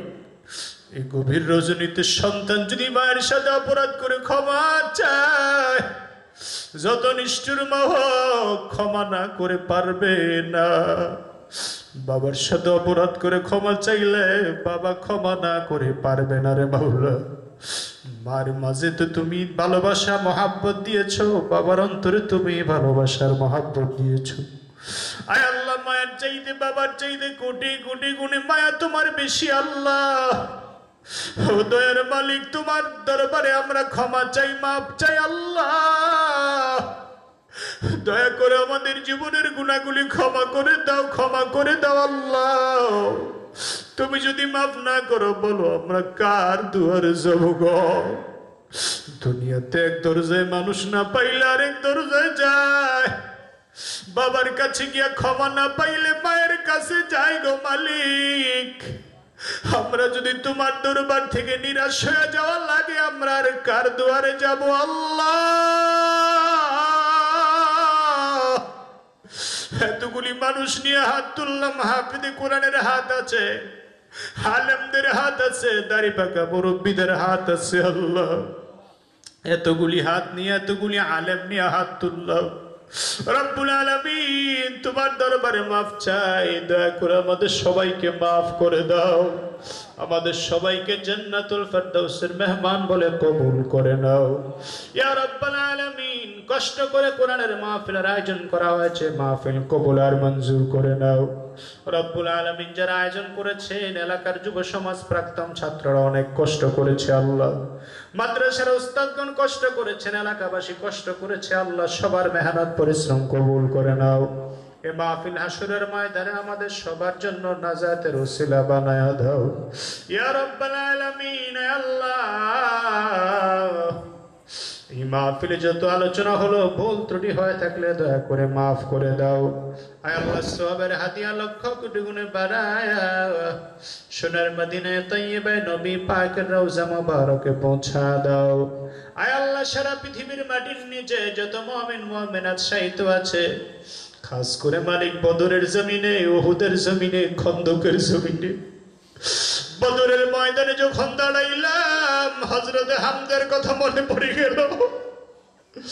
ওহুদের ময়দানে যখন দাঁড়ালাম হজরতে হানজালার কথা মনে পড়ে যায়, যেই হানজালা বিবাহের রাতে বাসর ঘরের স্ত্রীকে বাদ দিয়া তোমার রসুলের জন্য জীবনটা বিসর্জন দিল গো আল্লাহ। হজরত আমির হামজা যেই ওহুদে শোয়া হজরতে হানজালা শোয়া, যেই জান্নাতুল বাকিতে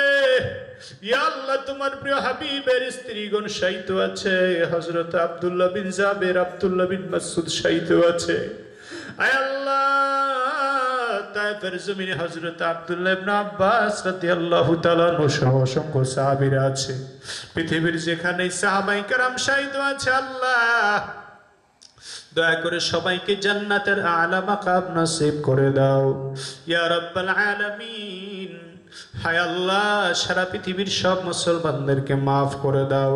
যত মুসলমান নরনারী কবরবাসী, সবার কবরে আজাব মাফ করে দাও। আয় আল্লাহ, খাস করে আমরা যারা হাত তুললাম, আমি জানি না কার জানি জনম দুঃখিনী মা, দুনিয়ায় বেঁচে নাই গো আল্লাহ। কত যুবক মায়ের কথা বলে চোখের পানি ছেড়ে কাঁদে আর বলে, হুজুর, আমার মায়ের জন্য দোয়া করবেন, আমার মা নাই। কত যুবক বাবার জন্য দোয়া চায় আর কাঁদে বলে, হুজুর, আমার বাবা না। রুবেল নামে একটা সন্তান। আমার প্রিয় ভাই, স্নেহের ছোট ভাই, তার মা বাবার জন্য কাজ করে দোয়া চাইছে। আয় আল্লাহ, সন্তান হয় মায়ের জন্য, বাবার জন্য যারা দোয়া চায়, চোখের পানি ছাড়ে। ওই সকল মা বাবার কবরে তুমি আজাব দিও না গো মাওলা। দয়া করে আব্বা আম্মার কবরটাকে জান্নাতের বাগান বানায়া দাও। আয় আল্লাহ, আমাদের সবার আব্বা আম্মাকে মাফ করে দাও। দাদা দাদিকে মাফ করে দাও, নানা নানিকে মাফ করে দাও। আয় আল্লাহ, বংশধর মুরব্বীদেরকে মাফ করে দাও। আয় আল্লাহ মাদ্রাসার পাশেই গুরুস্থানে সাইত এই বলতলির কত মুসলমান নরনারী। আল্লাহ দয়া করে কোরআনের মাহফিলের ইজ্জতে তাদের কবরে আজাব মাফ করে দাও। এলাকার উপরে খাস রহমত, বরকত নাজিল করে দাও। মাদ্রাসা কবুলার মঞ্জুর করে নাও। মাদ্রাসার সকল হাজত পূরণ করে দাও। মাদ্রাসার মোহতামিম সাহেব হুজুরকে না খায়াত দান করে দাও। শিক্ষকদেরকে না খায়াত দান করে দাও। ছাত্রদেরকে কবুল করে নাও। আল্লাহ এলাকাবাসীর উপরে খাস রহমত, বরকত নাজিল করে দাও। নারী পুরুষ সবাইকে দিনদার, ইমানদার বানায় দাও। পর্দানিশি প্রতিটা মা বোনদেরকে আবেদা সনেহা বানায় দাও। ইয়া আল্লাহ, যুবক ভাইদেরকে ইসলামের জন্য কবুল করে নাও। ইয়া আল্লাহ, বৃদ্ধদেরকে কোরআনের জন্য, দিনের জন্য কবুল করে নাও। আয় আল্লাহ, বয়স্ক মানুষগুলোর নেক হায়াত দিয়া বাঁচায় রাখো। আল্লাহ তাদের শারীরিক সুস্থতা দান করে দাও। ইয়া রাব্বাল আলামিন, অসুস্থ অবস্থায় যারা দোয়া চাইলেন দয়া করে তাদেরকে পরিপূর্ণ শেফা নসিব করে দাও। একটি বাচ্চা অসুস্থ, আল্লাহ তার জন্য খাস করে দোয়া চাওয়া হয়েছে, তাকে সুস্থতা দান করে দাও। আয় আল্লাহ মা বাবার কুলিজার টুকরা সন্তান মা বাবার কোলে আমানতের সাথে। আল্লাহ দয়া করে ফিরে দাও। আল্লাহ তাকে হায়াতে তৈবা দান করে দাও। ইয়ার আলামিন, আমি গুনাগার মুসাফির। তোমার বান্দার আমার সাথে হাত তুললো বড় আশা করে, কার কি আশা আমি জানি না গো ইয়ার ইয়া রাব্বাল আলামিন, দয়া করে সবার মনের ন্যাক আশা পূরণ করে দাও। যারা বিপদে আছে, বিপদ দূর করে দাও। মুসিবতে আছে, মুসিবত দূর করে দাও। আমাদের শারীরিক, মানসিক অসুস্থতা দূর করে দাও আল্লাহ। যাদের সন্তান বিদেশে আছে, বিদেশের বাড়িতে হেফাজত করে দাও। যারা ব্যবসায়ী, ব্যবসা বাণিজ্যে বরকত দান করে দাও। আল্লাহ সারা দুনিয়ার মুসলমানদের উপরে খাস রহমত নাজিল করে দাও। সারা পৃথিবীর ওলামাই কেরামদের ইজ্জতকে হেফাজত করে দাও। আয় আল্লাহ, পৃথিবীর প্রতিটা মুসলিম দেশকে হেফাজত করে দাও। আমাদের প্রিয় বাংলাদেশকে হেফাজত করে দাও। বাংলাদেশের উপরে খাস রহমত, বরকত নাজিল করে দাও। আয় আল্লাহ, জানি না কখন জানি কবরের ডাক চলে আসে মাওলা। ওই কবরে যাওয়ার আগে সবাইকে সোনার মক্কা, মদিনা দেখার তাও দান করে দাও। আয় আল্লাহ, তোমার হাবিবের রওজা মুবারক যত দেখেছি, তত ভালো লেগেছে গো আল্লাহ। আবার যেতে মনে চায়, বারবার যেন যেতে পারি, সে তাওফিক দান করে দাও। রব্বানা إنك أنت السميع العليم. وتب علينا إنك أنت التواب الرحيم. وصلى الله تعالى على خير خلقه محمد وعلى آله وأصحابه أجمعين. آمين آمين. برحمتك يا أرحم الراحمين.